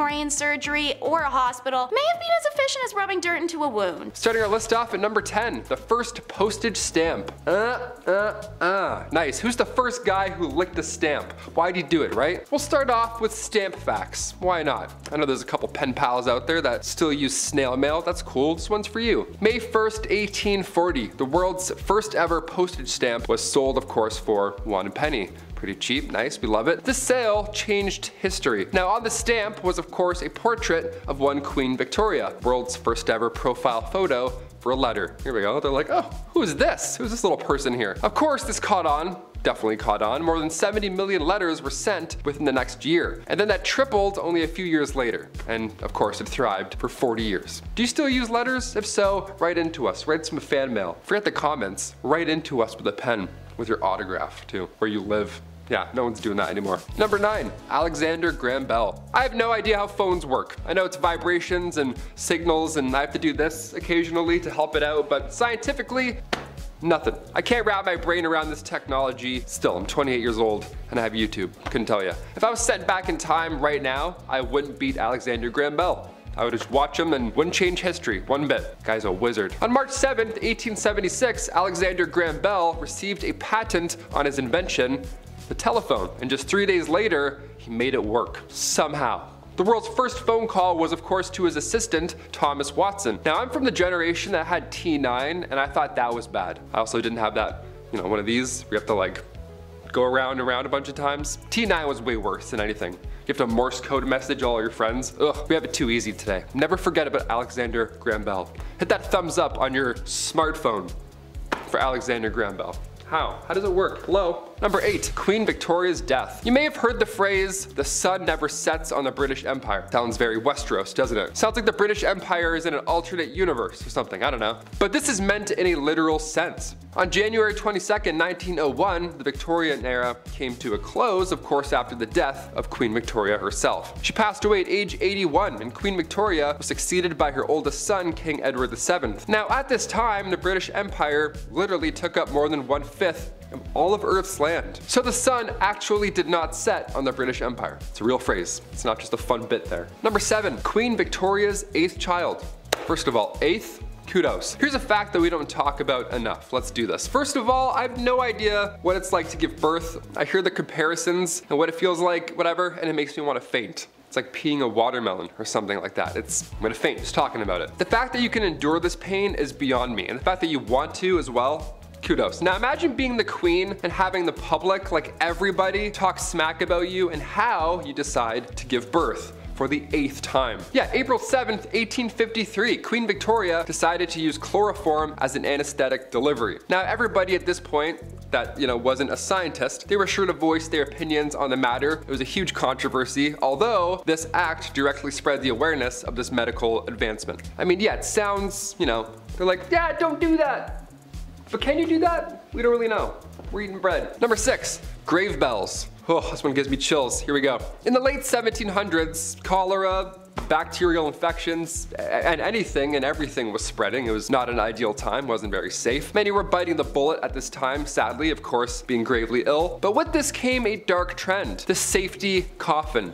Yeah, just a backup coffin. These coffins, Lord forbid you are buried alive, these safety coffins would allow the dead to rise again. Nice, like it's Michael Jackson's Thriller. They would just come out and be like, oh, guess who's back? Back in the Thames, here we go. All these coffins have extra comfort on the inside and a wire. This wire ran through the coffin and then attached to a bell on the outside on the you know, ground floor. So if a passerby heard it, well, they would know something's up. Folks would get creative with their safety coffins. I mean, you know, they'd personalize it. Like for example, a man named Robert Robinson from Manchester. He passed in 1791, but instructed his family and watchmen to open this special door that would reveal a layer of glass. So that's real haunting to find. Hey, come look at grandpa. Yeah, he looks good, eh? Patent number 81437. It was actually granted to Franz Vester in 1868 and it was an improved burial case. Just a glass case with someone who may or may not be alive inside. 50-50. It had an air inlet, a ladder, and of course a bell. The description of the patent says, if too weak to ascend by the ladder, they can ring the bell, giving the desired alarm for help and thus save themselves from premature death by being buried alive. So now I ask you, if you're walking in a graveyard and you heard a bell ringing,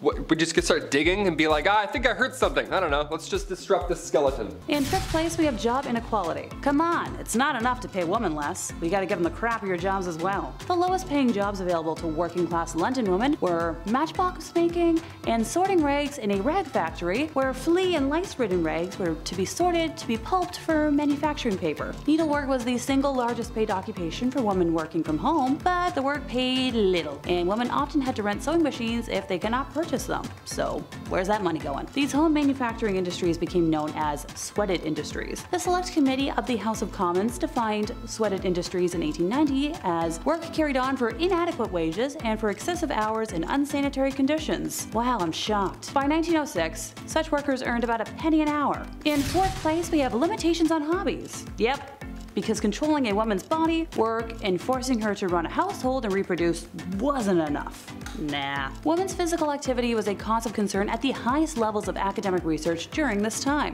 Sadly, uh, here in Canada, physicians debated the appropriateness of women using bicycles. Remember that purity culture I mentioned a moment ago? Yeah, here we go again. A series of letters published in the Dominion Medical Monthly and Ontario Medical Journal in 1896 expressed concern that women seated on a bicycle seat could have uh, an organ Oh no. Fearful of unleashing and creating a nation of oversexed females, some physicians urged colleagues to encourage women to give up modern dangers and continue to pursue traditional leisure pursuits. Seriously? However, not all medical colleagues were convinced of the link between cycling and and this debate on women's leisure activities continued well into the 20th century. In the early part of the 19th century, it was believed that physical activity was dangerous and inappropriate for women. Girls were taught to reserve their delicate health for the express purpose of birthing healthy children, and one of these considered benefits of the corset was to restrict respiration. Don't worry, I'll get back to corset hell and myths in just a moment. Furthermore, the physiological differences between the sexes helped to reinforce the societal inequality. An anonymous female writer was able to contend that women were not intended to fill male roles because women are, as a rule, physically smaller and weaker than men. Their brain is much lighter, and they are in every way unfitted for the same amount of bodily or mental labor that men are able to undertake.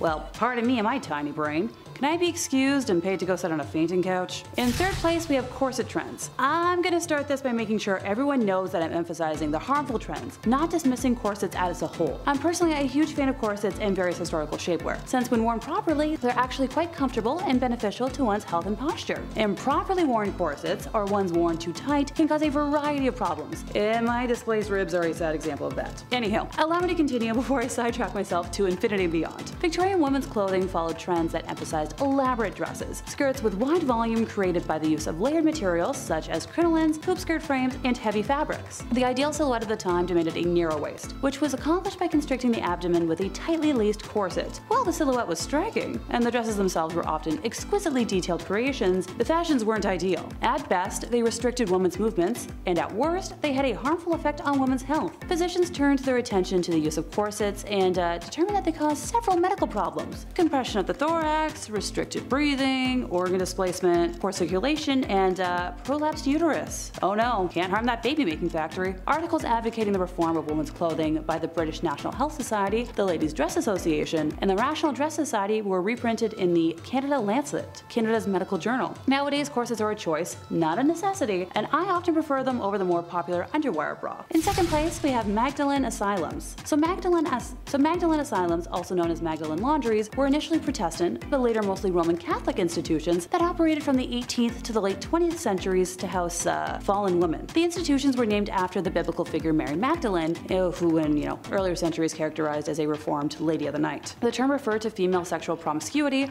or work in undesirable fields, young women who became pregnant outside of marriage, or young women who just didn't have familial support. They were required to work without pay. Apart from meager food provisions, while the institutions operated large commercial laundries, serving customers outside of their bases. Many of these laundries were effectively operated as penitentiary workhouses. The strict regimes of the institutions were often more severe than those found in prisons. This contradicted the perceived outlook that they were meant to help women, as opposed to uh, punishing them. The last one known closed only in 1996, which is a year before I was born, so they went on for way too long. In our first place, we have Woman of the Night. During the Victorian age, women selling their bodies was a wide-scale problem in Britain. The very essence of it went against every moral value that was promoted during this time. Values such as, you know, chastity, prudence, and grace were dismissed and disregarded by fallen women. These women were led into this line of work for varying reasons, the most prominent being, you know, social and economic concerns. Upon entering into this world, there were several different avenues that could be taken by women, including military encampments, brothels, and um, street walking. The number of women participating in this trade during the Victorian age was uh, staggeringly high. Although London police reports recorded that you know there were approximately 8,600 women of the night known to them, it has been suggested that the true number during this time was closer to 80,000. As a result, concerns were raised, and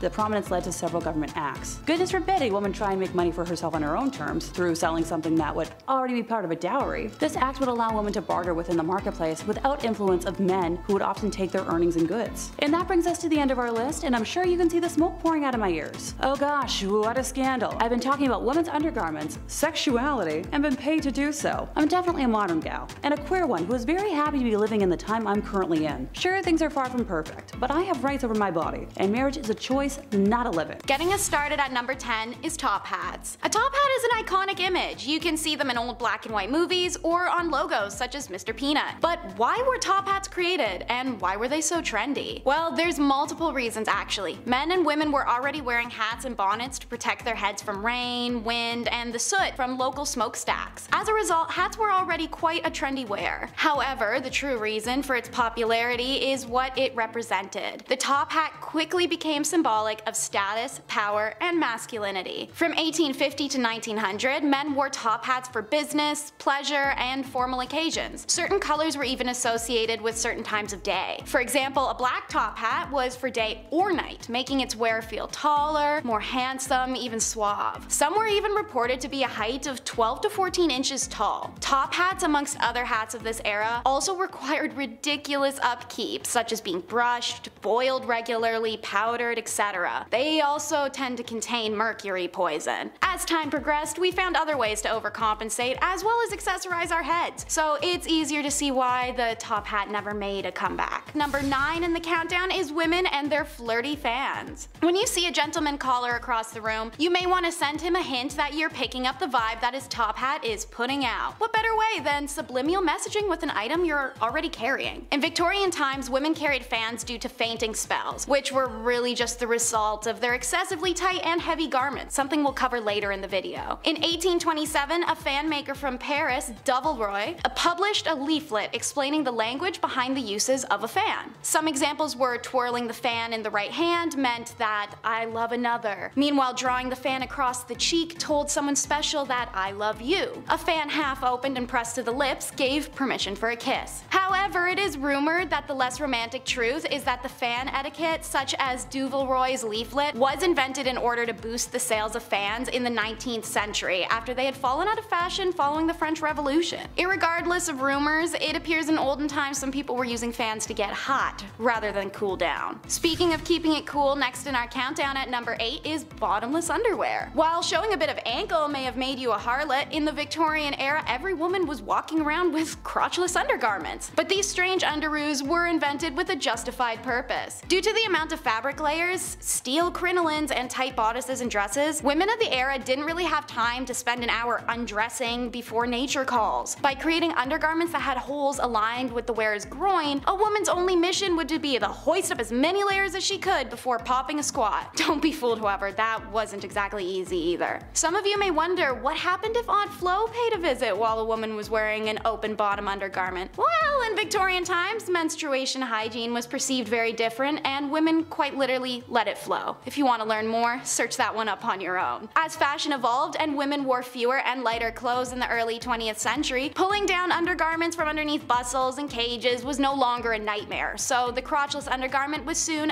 abandoned once more. But now it does make sense why everyone loved the high-kicking can-can dancers in 19th century Paris. Morning garb, and I don't mean pajamas, is number 7 in our countdown. Known as the monarch of mourning, Queen Victoria influenced how grieving women dressed and behaved in Europe and the United States after the passing of her husband in 1861. She famously mourned him for 40 years until her own demise, and started what's now known as the Victorian mourning etiquette. Victorian mourning etiquette came with elaborate rituals to commemorate their dead. It became normal to have incredibly elaborate and lavish funerals, curtail social behavior, and even erect statues and ornate monuments as tombstones. Mourning clothes were part of this, and they were introduced for both sexes. Said to show a family's outward display of their inner feelings after the passing of a loved one, the rules for who wore what and for how long were complicated and often outlined in popular journals or household manuals. Call that a mourner's magazine. Jokes aside, men definitely had it a lot easier. They simply wore their usual dark suits along with black gloves, hat bands, cravats, or ties. For women, especially should she be a widow, there were different levels of mourning and garb to wear as you progressed out of deep mourning and into lighter mourning and so forth. Deep mourning uh, was of course black, but also made specifically was a crepe styling, a scratchy silk with a puffed, crimped appearance associated with mourning as it doesn't pair with any other clothing. Right. The mourner would eventually stop donning the crepe and then stop donning black. This was called slightening the mourning, before cloth colors eventually moved on to gray, mauve, then white, until the mourning period was considered complete. Number 6 in our countdown is the human hair wearers. Fun because it rhymes, but creepy for a whole slew of reasons. So, what do I mean by human hair wearers? Well, it was a tradition in Victorian era to don jewelry jewelry that had segments of human hair embossed, woven, or sealed into it. But for many Victorian people, the amount of hair involved in remembering loved ones went far beyond a little lock in a necklace. In stores and women's magazines, you could find patterns for wreaths made of hair and wire, often floral designs. Bracelets, brooches, earrings, and necklaces were also all very common. In its prime, human hair, jewelry, and decor was considered incredibly fashionable. It's even said that swapping locks of hair was a love token between women loving women women or friends the way that girls today might wear friendship bracelets with each other. I guess if you need a trim and you were already late on a birthday gift, you could really just kill two birds with one stone. In fifth place, we have grave robbing. Now, my first thought when I said that just now was grave robber the character, which only goes to show how much Repo the Genetic Opera has rotted my brain. One of the most lucrative side hustles of the Victorian era was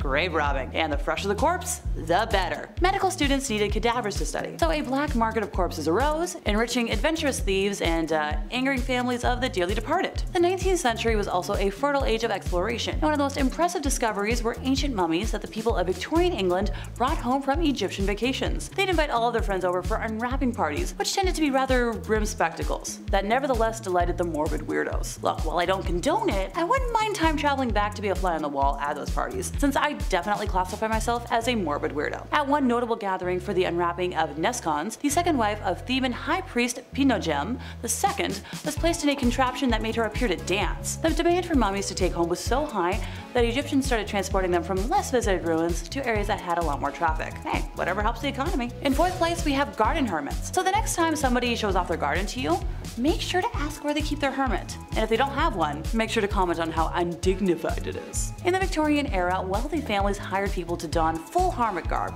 complete with robes, long hair, beards, and hermit glasses, and live as an ornamental garden hermit on their land. The biggest rule of all though?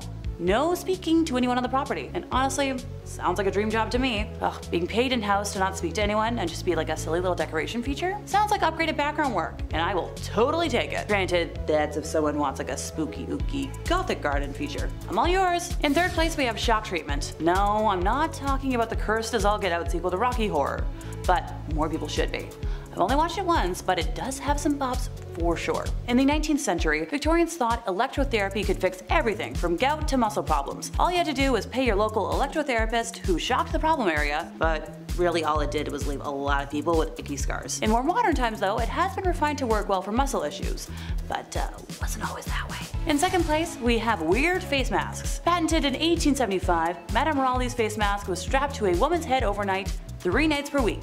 That was how you do it, you followed the rules. Made of flexible India rubber, the mask could be filled with unguents and all matters of salves and bleaches to uh, treat the skin. However, the mask did have a second purpose, which was to make the face sweat all night long. Also called the face glove, the device would excite perspiration with a view to soften and clarify the skin by relieving the pores and the superficial circulation. Inventor Helen Rowley claimed the mask could be used by persons suffering with certain forms of disease or afflicted with a bad complexion, which came in the form of cutaneous eruptions, blotches, pimples, freckles, or fugitive discolorations, and for clogged pores and capillary congestion. So, a cure-all? Now, this mask became very, very popular and uh, led to some market competition. One improved overnight mask was made of flannel, while another complained that existing masks didn't allow for poisonous gases to escape, so she proposed layers of chamois and satin. And hey, if all else failed, Victorian women layered raw beef or veal over their faces before bed. I love a good face mask as much as the next person, but um, I think I'll stick with what I already know. In first place, we have corpse medicine. The Victorian era ushered in the tail end of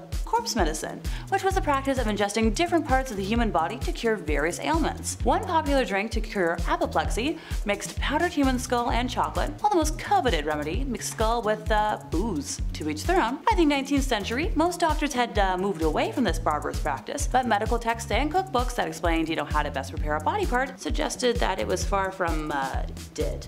To get fresh supplies, people often went to an executioner rather than a pharmacist, paying good money for the freshest of fresh products as recommended by a doctor that was shockingly not accused of being a vampire. I even found a recipe for uh, red fluid marmalade. And that brings us to the end of our list, and uh, people really used to do the craziest things. I'll stick to my modern traditions that are a little less uh, life-threatening. Starting off this list, in our number 10 spot, we have the Tichborne case. This was quite a bizarre legal case that captivated Victorian England in the 1860s and 1870s. It involved a claimant named Arthur Orton, who alleged that he was the long-lost heir to the Tichborne baronetcy. Despite numerous inconsistencies in his story, Arthur managed to convince some members of the Tichborne family and a significant portion of the public that he was who he claimed to be. The case went to trial in 1873 and it became a media sensation, with thousands of people lining up outside the courthouse to catch a glimpse of the proceedings. This was basically like the Victorian era's OJ trial, or the Johnny Depp and Amber Heard trial, you know? The people wanted to know. Despite Arthur's conviction for perjury, the case continued to fascinate the public for years to come, and it became a symbol of the era's fascination with sensationalism and fraud. The Tichborne case remains one of the most infamous legal cases in British history, and is a cautionary tale about the dangers of believing in something without sufficient evidence. In our number 9 spot today we have the London beer flood. This sounds like it would be quite a fun time, but it was anything but that and instead was a tragic event that occurred on October 17, 1814 in the St Giles district of London. At the Meux and Company Brewery, a massive vat containing over 135,000 gallons of beer suddenly ruptured, causing a wave of beer to flood the surrounding streets. The torrent of beer destroyed several nearby houses, killing 8 people and injuring many others. The flood was so powerful that it even knocked down the wall of a nearby pub, trapping and killing some of the patrons inside. The London beer flood was caused by a combination of factors, including poor construction of the vat and overfilling it with beer. The brewery had a history of safety concerns and many of the workers were aware of the dangers associated with working there. Despite this, the brewery continued to operate and tragedy struck. The incident became the subject of much media attention at the time and it continues to be remembered today as a tragic and bizarre event in London's history. The victims of the flood were commemorated with a plaque on the site of the former brewery,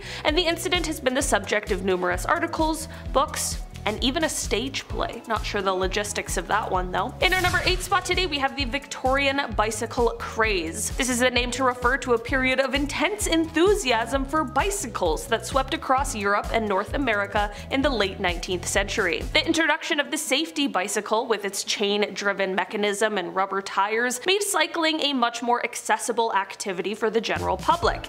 It became a popular mode of transportation and leisure activity, particularly among the middle and upper classes. The craze also had a significant impact on fashion, with women's clothing becoming more practical and comfortable to allow for cycling. It's funny to think of now because like it's just a bike, but at the time it was so much more than that. It's like how smartphones completely changed our lives in more ways than we probably even know. That's basically what the bike was like in the Victorian era. The bicycle craze had a profound impact on society and culture at the time. It led to the development of new industries such as cycling clubs, and it also paved the way for the modern transportation industry. The bicycle became a symbol of freedom and empowerment, particularly for women who were able to travel further and faster than ever before. The Victorian bicycle craze remains an important cultural and historical phenomenon that changed the way people lived, worked, and played. In our number 7 spot today we have the Crimean War. The Crimean War was a conflict fought between 1853 and 1856, primarily involving Russia and an alliance of France, Britain, the Ottoman Empire, and Sardinia. The war was fought over various territorial and religious disputes, particularly regarding the rights of Christians in the Ottoman Empire. The war was marked by high casualties, particularly from disease and poor medical care, and it is often seen as a turning point in military medicine. The war also also featured some of the first extensive use of modern technologies such as telegraphs and railways, which greatly impacted warfare in the future. The war ended in a victory for the Allied forces, and it resulted in a significant shakeup of the balance of power in Europe. It also demonstrated the need for improved communication, organization, and medical care in military conflicts, and it had significant long-term impacts on military and political strategies in Europe and beyond. In our number 6 spot today we have the East End outbreak. The East End outbreak was an outbreak of cholera in 1866 and was a major epidemic that struck the densely populated area of East London, causing widespread illness and death. Cholera is a highly contagious disease that spreads through contaminated water, and in the Victorian era, London's water supply was notoriously unsanitary. The outbreak was particularly devastating in the East End, where poverty and overcrowding made residents more vulnerable to disease. The outbreak led to significant changes changes in public health policy and infrastructure, as well as increased public awareness of the importance of sanitation and hygiene. The physician John Snow, which, you know, feels like a weird name to say when I'm not talking about Game of Thrones, but the physician John Snow played a key role in identifying the source of the outbreak, tracing it to a contaminated water pump on Broad Street. His work really paved the way for the development of modern epidemiology and disease prevention. The East End cholera outbreak remains a significant event in the history of public health and the struggle for social justice. It brought attention to the urgent need for clean water and adequate sanitation, and it helped to spur reforms that improved the health and well-being of people in urban areas. Number 5. Corsets. Nobody wants a waist bigger than 9 inches, said everybody in Victorian times. I for one can appreciate the female form and the hourglass figure. It's admirable, sure, but that being said, I, I don't think we need to go so far to keep the female form in shape. The corset's a little too much. Corsets were those chest-tightening, gut-sunking push all to mincemeat to the top of the pie apparel that went under every woman's dress or every fat dude in his 50s who wants to feel 29 again.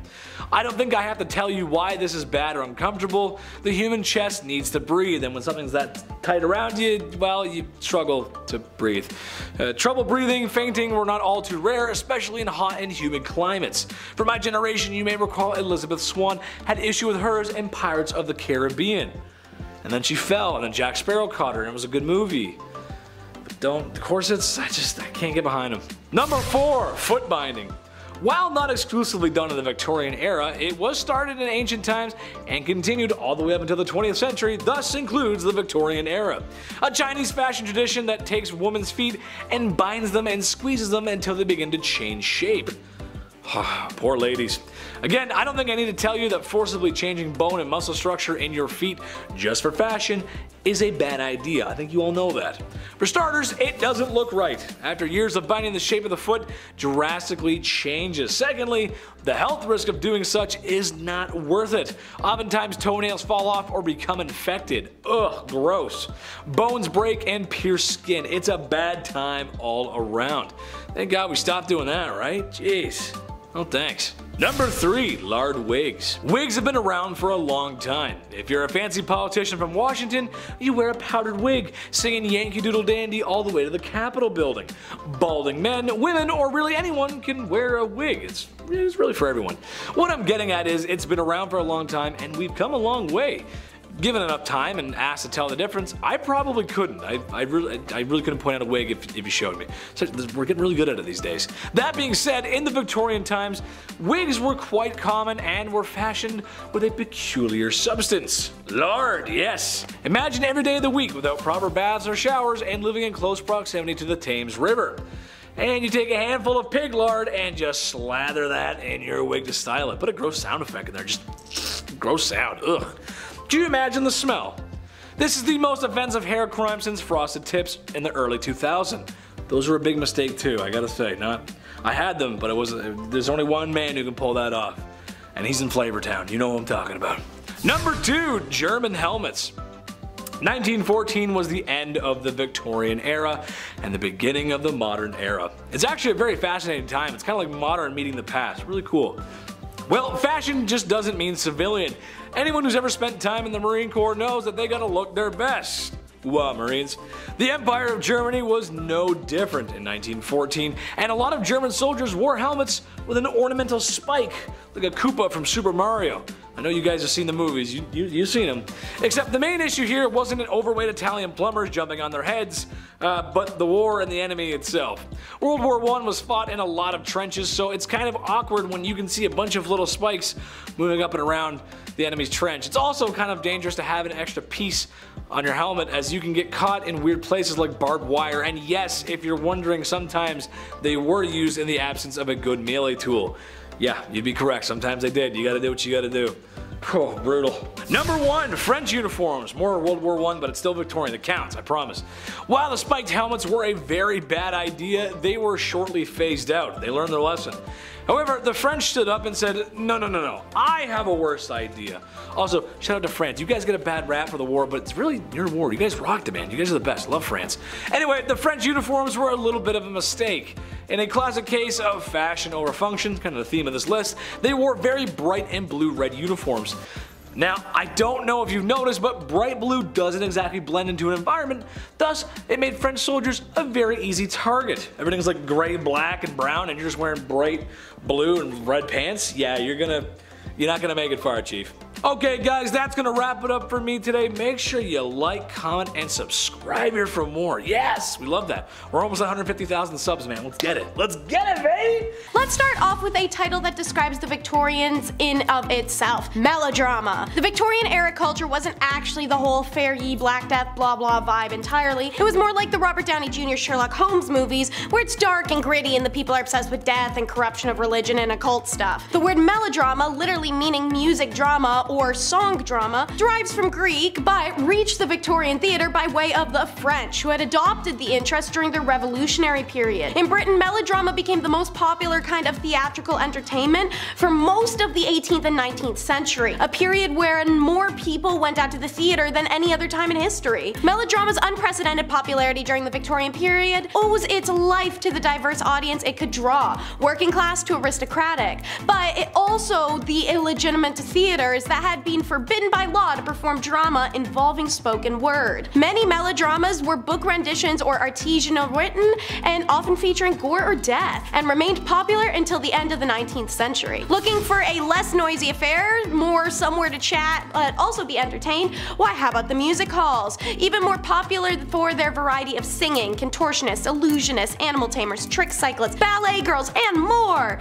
These emerged in the 1850s, and by the 1870s there were hundreds across Britain. The audiences chatted throughout the acts and they could be unruly, throwing things at performers like bottles, old boots, vegetables, and even dead cats. In some halls, bottles carried by waiters were chained to the trays, and the orchestra was protected from flying objects by steel grills. While women initially weren't allowed in the middle class song and supper rooms, they were later encouraged to attend because people hoped that they would have a civilizing influence on the men. Who, who thought that? That's not why women wanted to go. Anywho, throughout the 1860s it became more common for women to perform in music halls themselves. Many married into aristocracy because of it, got hired on to big performers and went touring, or ended up modeling for magazines. Through topical songs, music halls played the political edge and kept their audiences informed and educated about their rights and about the current social, economic, and political issues or corruptions. The last two decades of the 19th century saw steady efforts to control and regulate music halls, with music regulation, performer regulation, enforcement measures to reduce alcohol in worker girls, and slowly introducing higher paying audience. And since I mentioned alcohol, the Victorian era was one of mixology. Many of the cocktails we drink now we owe to the British Advent, and mixology historians consider the time of the mid 1800s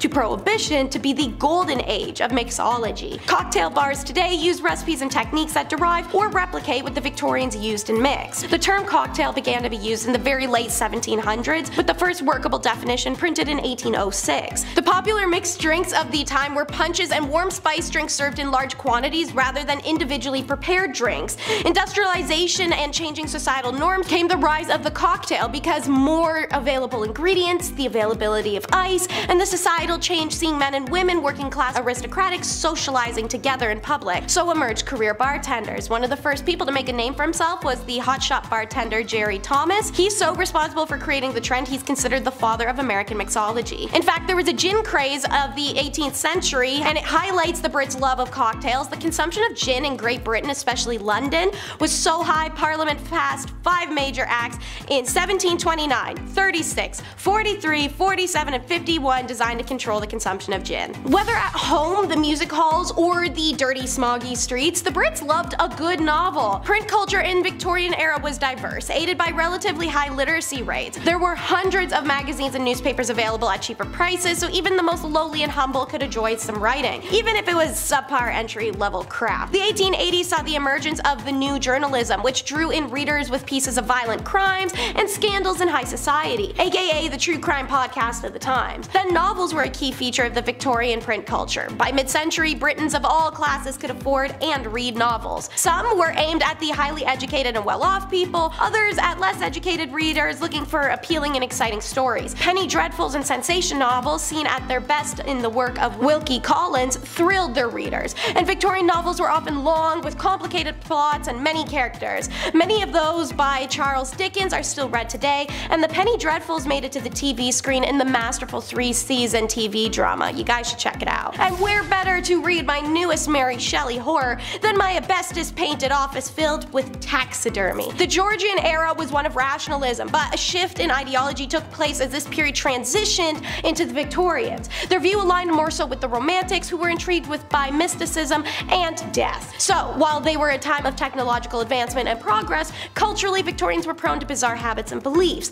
Like when a human family member passed away, Victorians did an extensive mourning ceremony, like take pictures with the dead, sometimes wear black for years, sob and roll on the ground. So, when a family pet passed away, it's not that much different, and it's common to hire a taxidermist to preserve the animal, giving them a second life, which reflects the Victorian belief that animals should be useful to humans even in death. Walter Potter was a celebrated celebrity English taxidermist, known for his dioramas of animals mimicking real life situations. Also famously known for not being an who killed his animals to create art, but rather receiving donations from local farmers to do so. In 1861, Potter opened his own museum to showcase his creations, and it remained popular until the early 19th century when people began raising questions about how ethical taxidermy was. Number 5. Gym Day. Believe it or not, they were around 200 gyms all across Europe during Victorian times. Dudes were getting shredded. Why not? They're like, hey, we don't have dinner, but might as well just work out. These gyms weren't bright, they weren't open, they weren't well ventilated, motivating, safe, none of those things that you need today. No, Victorian gyms were reserved for the upper class. Uh, yes, of course, grab your pocket watch and your blazer, Ezekiel. We're doing some bench pressing today, I guess. Yeah, grab your monocle, for sure, you're gonna need that. These machines also, they were not ideal ideal to work out. They were designed as antiques first, rather than, you know, their fitness purpose and safety purpose also. Like, half these look like saw traps. There's no way I'm gonna be bending my arm around any of these Victorian devices. Even the machines today at the gym, I'm like, no way, no thank you. Weak gang, here we go. Number four, Beauty patches. Okay, we have to bring back beauty patches ASAP. Imagine like if a rapper had a beauty patch. Nelly had the band-aid, but we gotta have like beauty patches. We gotta like, you know, mix it up a bit. Bring back the facial feature game. These patches came in all shapes and sizes, of course, in the Victorian era. Even in this portrait from 1755, Joshua Reynolds painted Charles, the ninth Lord Cathcart, rocking a large beauty patch. That looks amazing. He does look like Nelly, honestly. He has like that motivational, like rapper kind of like, you know, he, he's, he's in charge and you can tell from the beauty patch. Like that's a lord right there with that, one of those. Take it off, no lord. Put it back on, Lord. The reason for these patches back then, and sometimes having more than one, is because they were commonly used to cover up smallpox scars. They were made out of silk, velvet, and they were applied with glue. So pick a spot and commit. It's gonna be there all day. These patches were dark black and they were meant to make your pale skin pop. Of course, pale skin back then made everyone faint. Pale, pale skin and long shoes, everyone losing their minds. The position of these patches could also determine your political allegiance. How funny is that? Historian Joseph Addison took note of these positions when he observed two parties from the 1800s. Now, one party had patches on the right side and the other had the opposite. It's pretty, pretty amazing. It's a pretty easy way to flip jerseys, right? The other team starts winning, you're like, you know what? Check it out. Now I'm on this side. Prove it. Number three, chimney sweep. Ah, terrible jobs, here we go. I remember when I was younger, I had to sweep the chimney in the house and I loved it. I thought it was cool. I thought it was like a little safety, like secret room. I don't know. It wasn't safe at all, actually. It was just a dirty room. Had a little broom too. I always loved using that little broom little tiny sweeps, one at a time, little tiny bag to go along with it, so gentle. This was a terrible job to have in Victorian London, obviously. Chimney sweeps were famously young as well. I can't say anything else there, but these guys were young lads. History is horrible. Maybe that's why I was doing it, right? Because I could fit inside of the thing. That makes sense. 1840 was a good year, all things considered. A law was passed that made it illegal for anybody under the age of 21 to climb in and clean a chimney. I was 18 cleaning my chimney. I had no idea. I could have used this great law and got out of the whole chore. Shame. Number two, Jack the Ripper. Unidentified to this day. Who is he? How did he get away with it? And also, when are we gonna see a Netflix documentary on this guy? We have everybody else in this multiverse of killers. Where's this guy? Gonna complete the image. Well, because we didn't find him. Jack the Ripper was active in the East London neighborhoods primarily, and sadly, he would target sex workers at the time. He famously took the lives of five women from August to November of 1888, and they were believed to have been connected to Jack the Ripper, although some sources claim that he was active until 1891.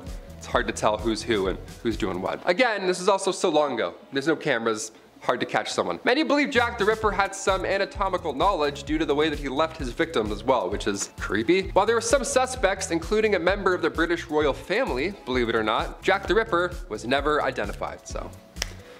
Yeah, that sucks, really. We gotta find him. Can't, but we gotta. And finally, number one, mudlarks. Yeah, we'll get dirty for this last one here. Why not? Victorian London around the 1840s, it was a bit of a mess. Everyone was sick, a lot of sore throats, to say the least. The jobs that were available, they sucked. They certainly didn't help you, you know, survive. The jobs that were available had you catching rats and crawling into sewers. One of the worst jobs to have was that of a mud lark. Now, as the name hints towards, a mud lark involved getting in deep in the mud and muck that would build up alongside the Thames River. Yeah, that dirty river back then. They're like, yeah, just go through the, the lining of that. See what's in there. Ugh. This one was reserved, again, for the younger folk with, you know, the uh, the, the patellas that still worked, you know, digging in the mud, of course. Can't have an old guy in there. He's not gonna come back out. It was like working in quicksand. It was horrible. It was exhausting. Not to mention the chances of being whisked away by the river at any given moment. Yeah, it sucked. All for the slim chance of finding a pocket watch or some driftwood, rags, something, anything really worth your troubles. Well, I've been your host, Taylor McWatters. Thanks for watching this whole video. I know that's hard nowadays to watch an entire thing. I can't watch a movie or a video for the life of me, so thanks, that's great.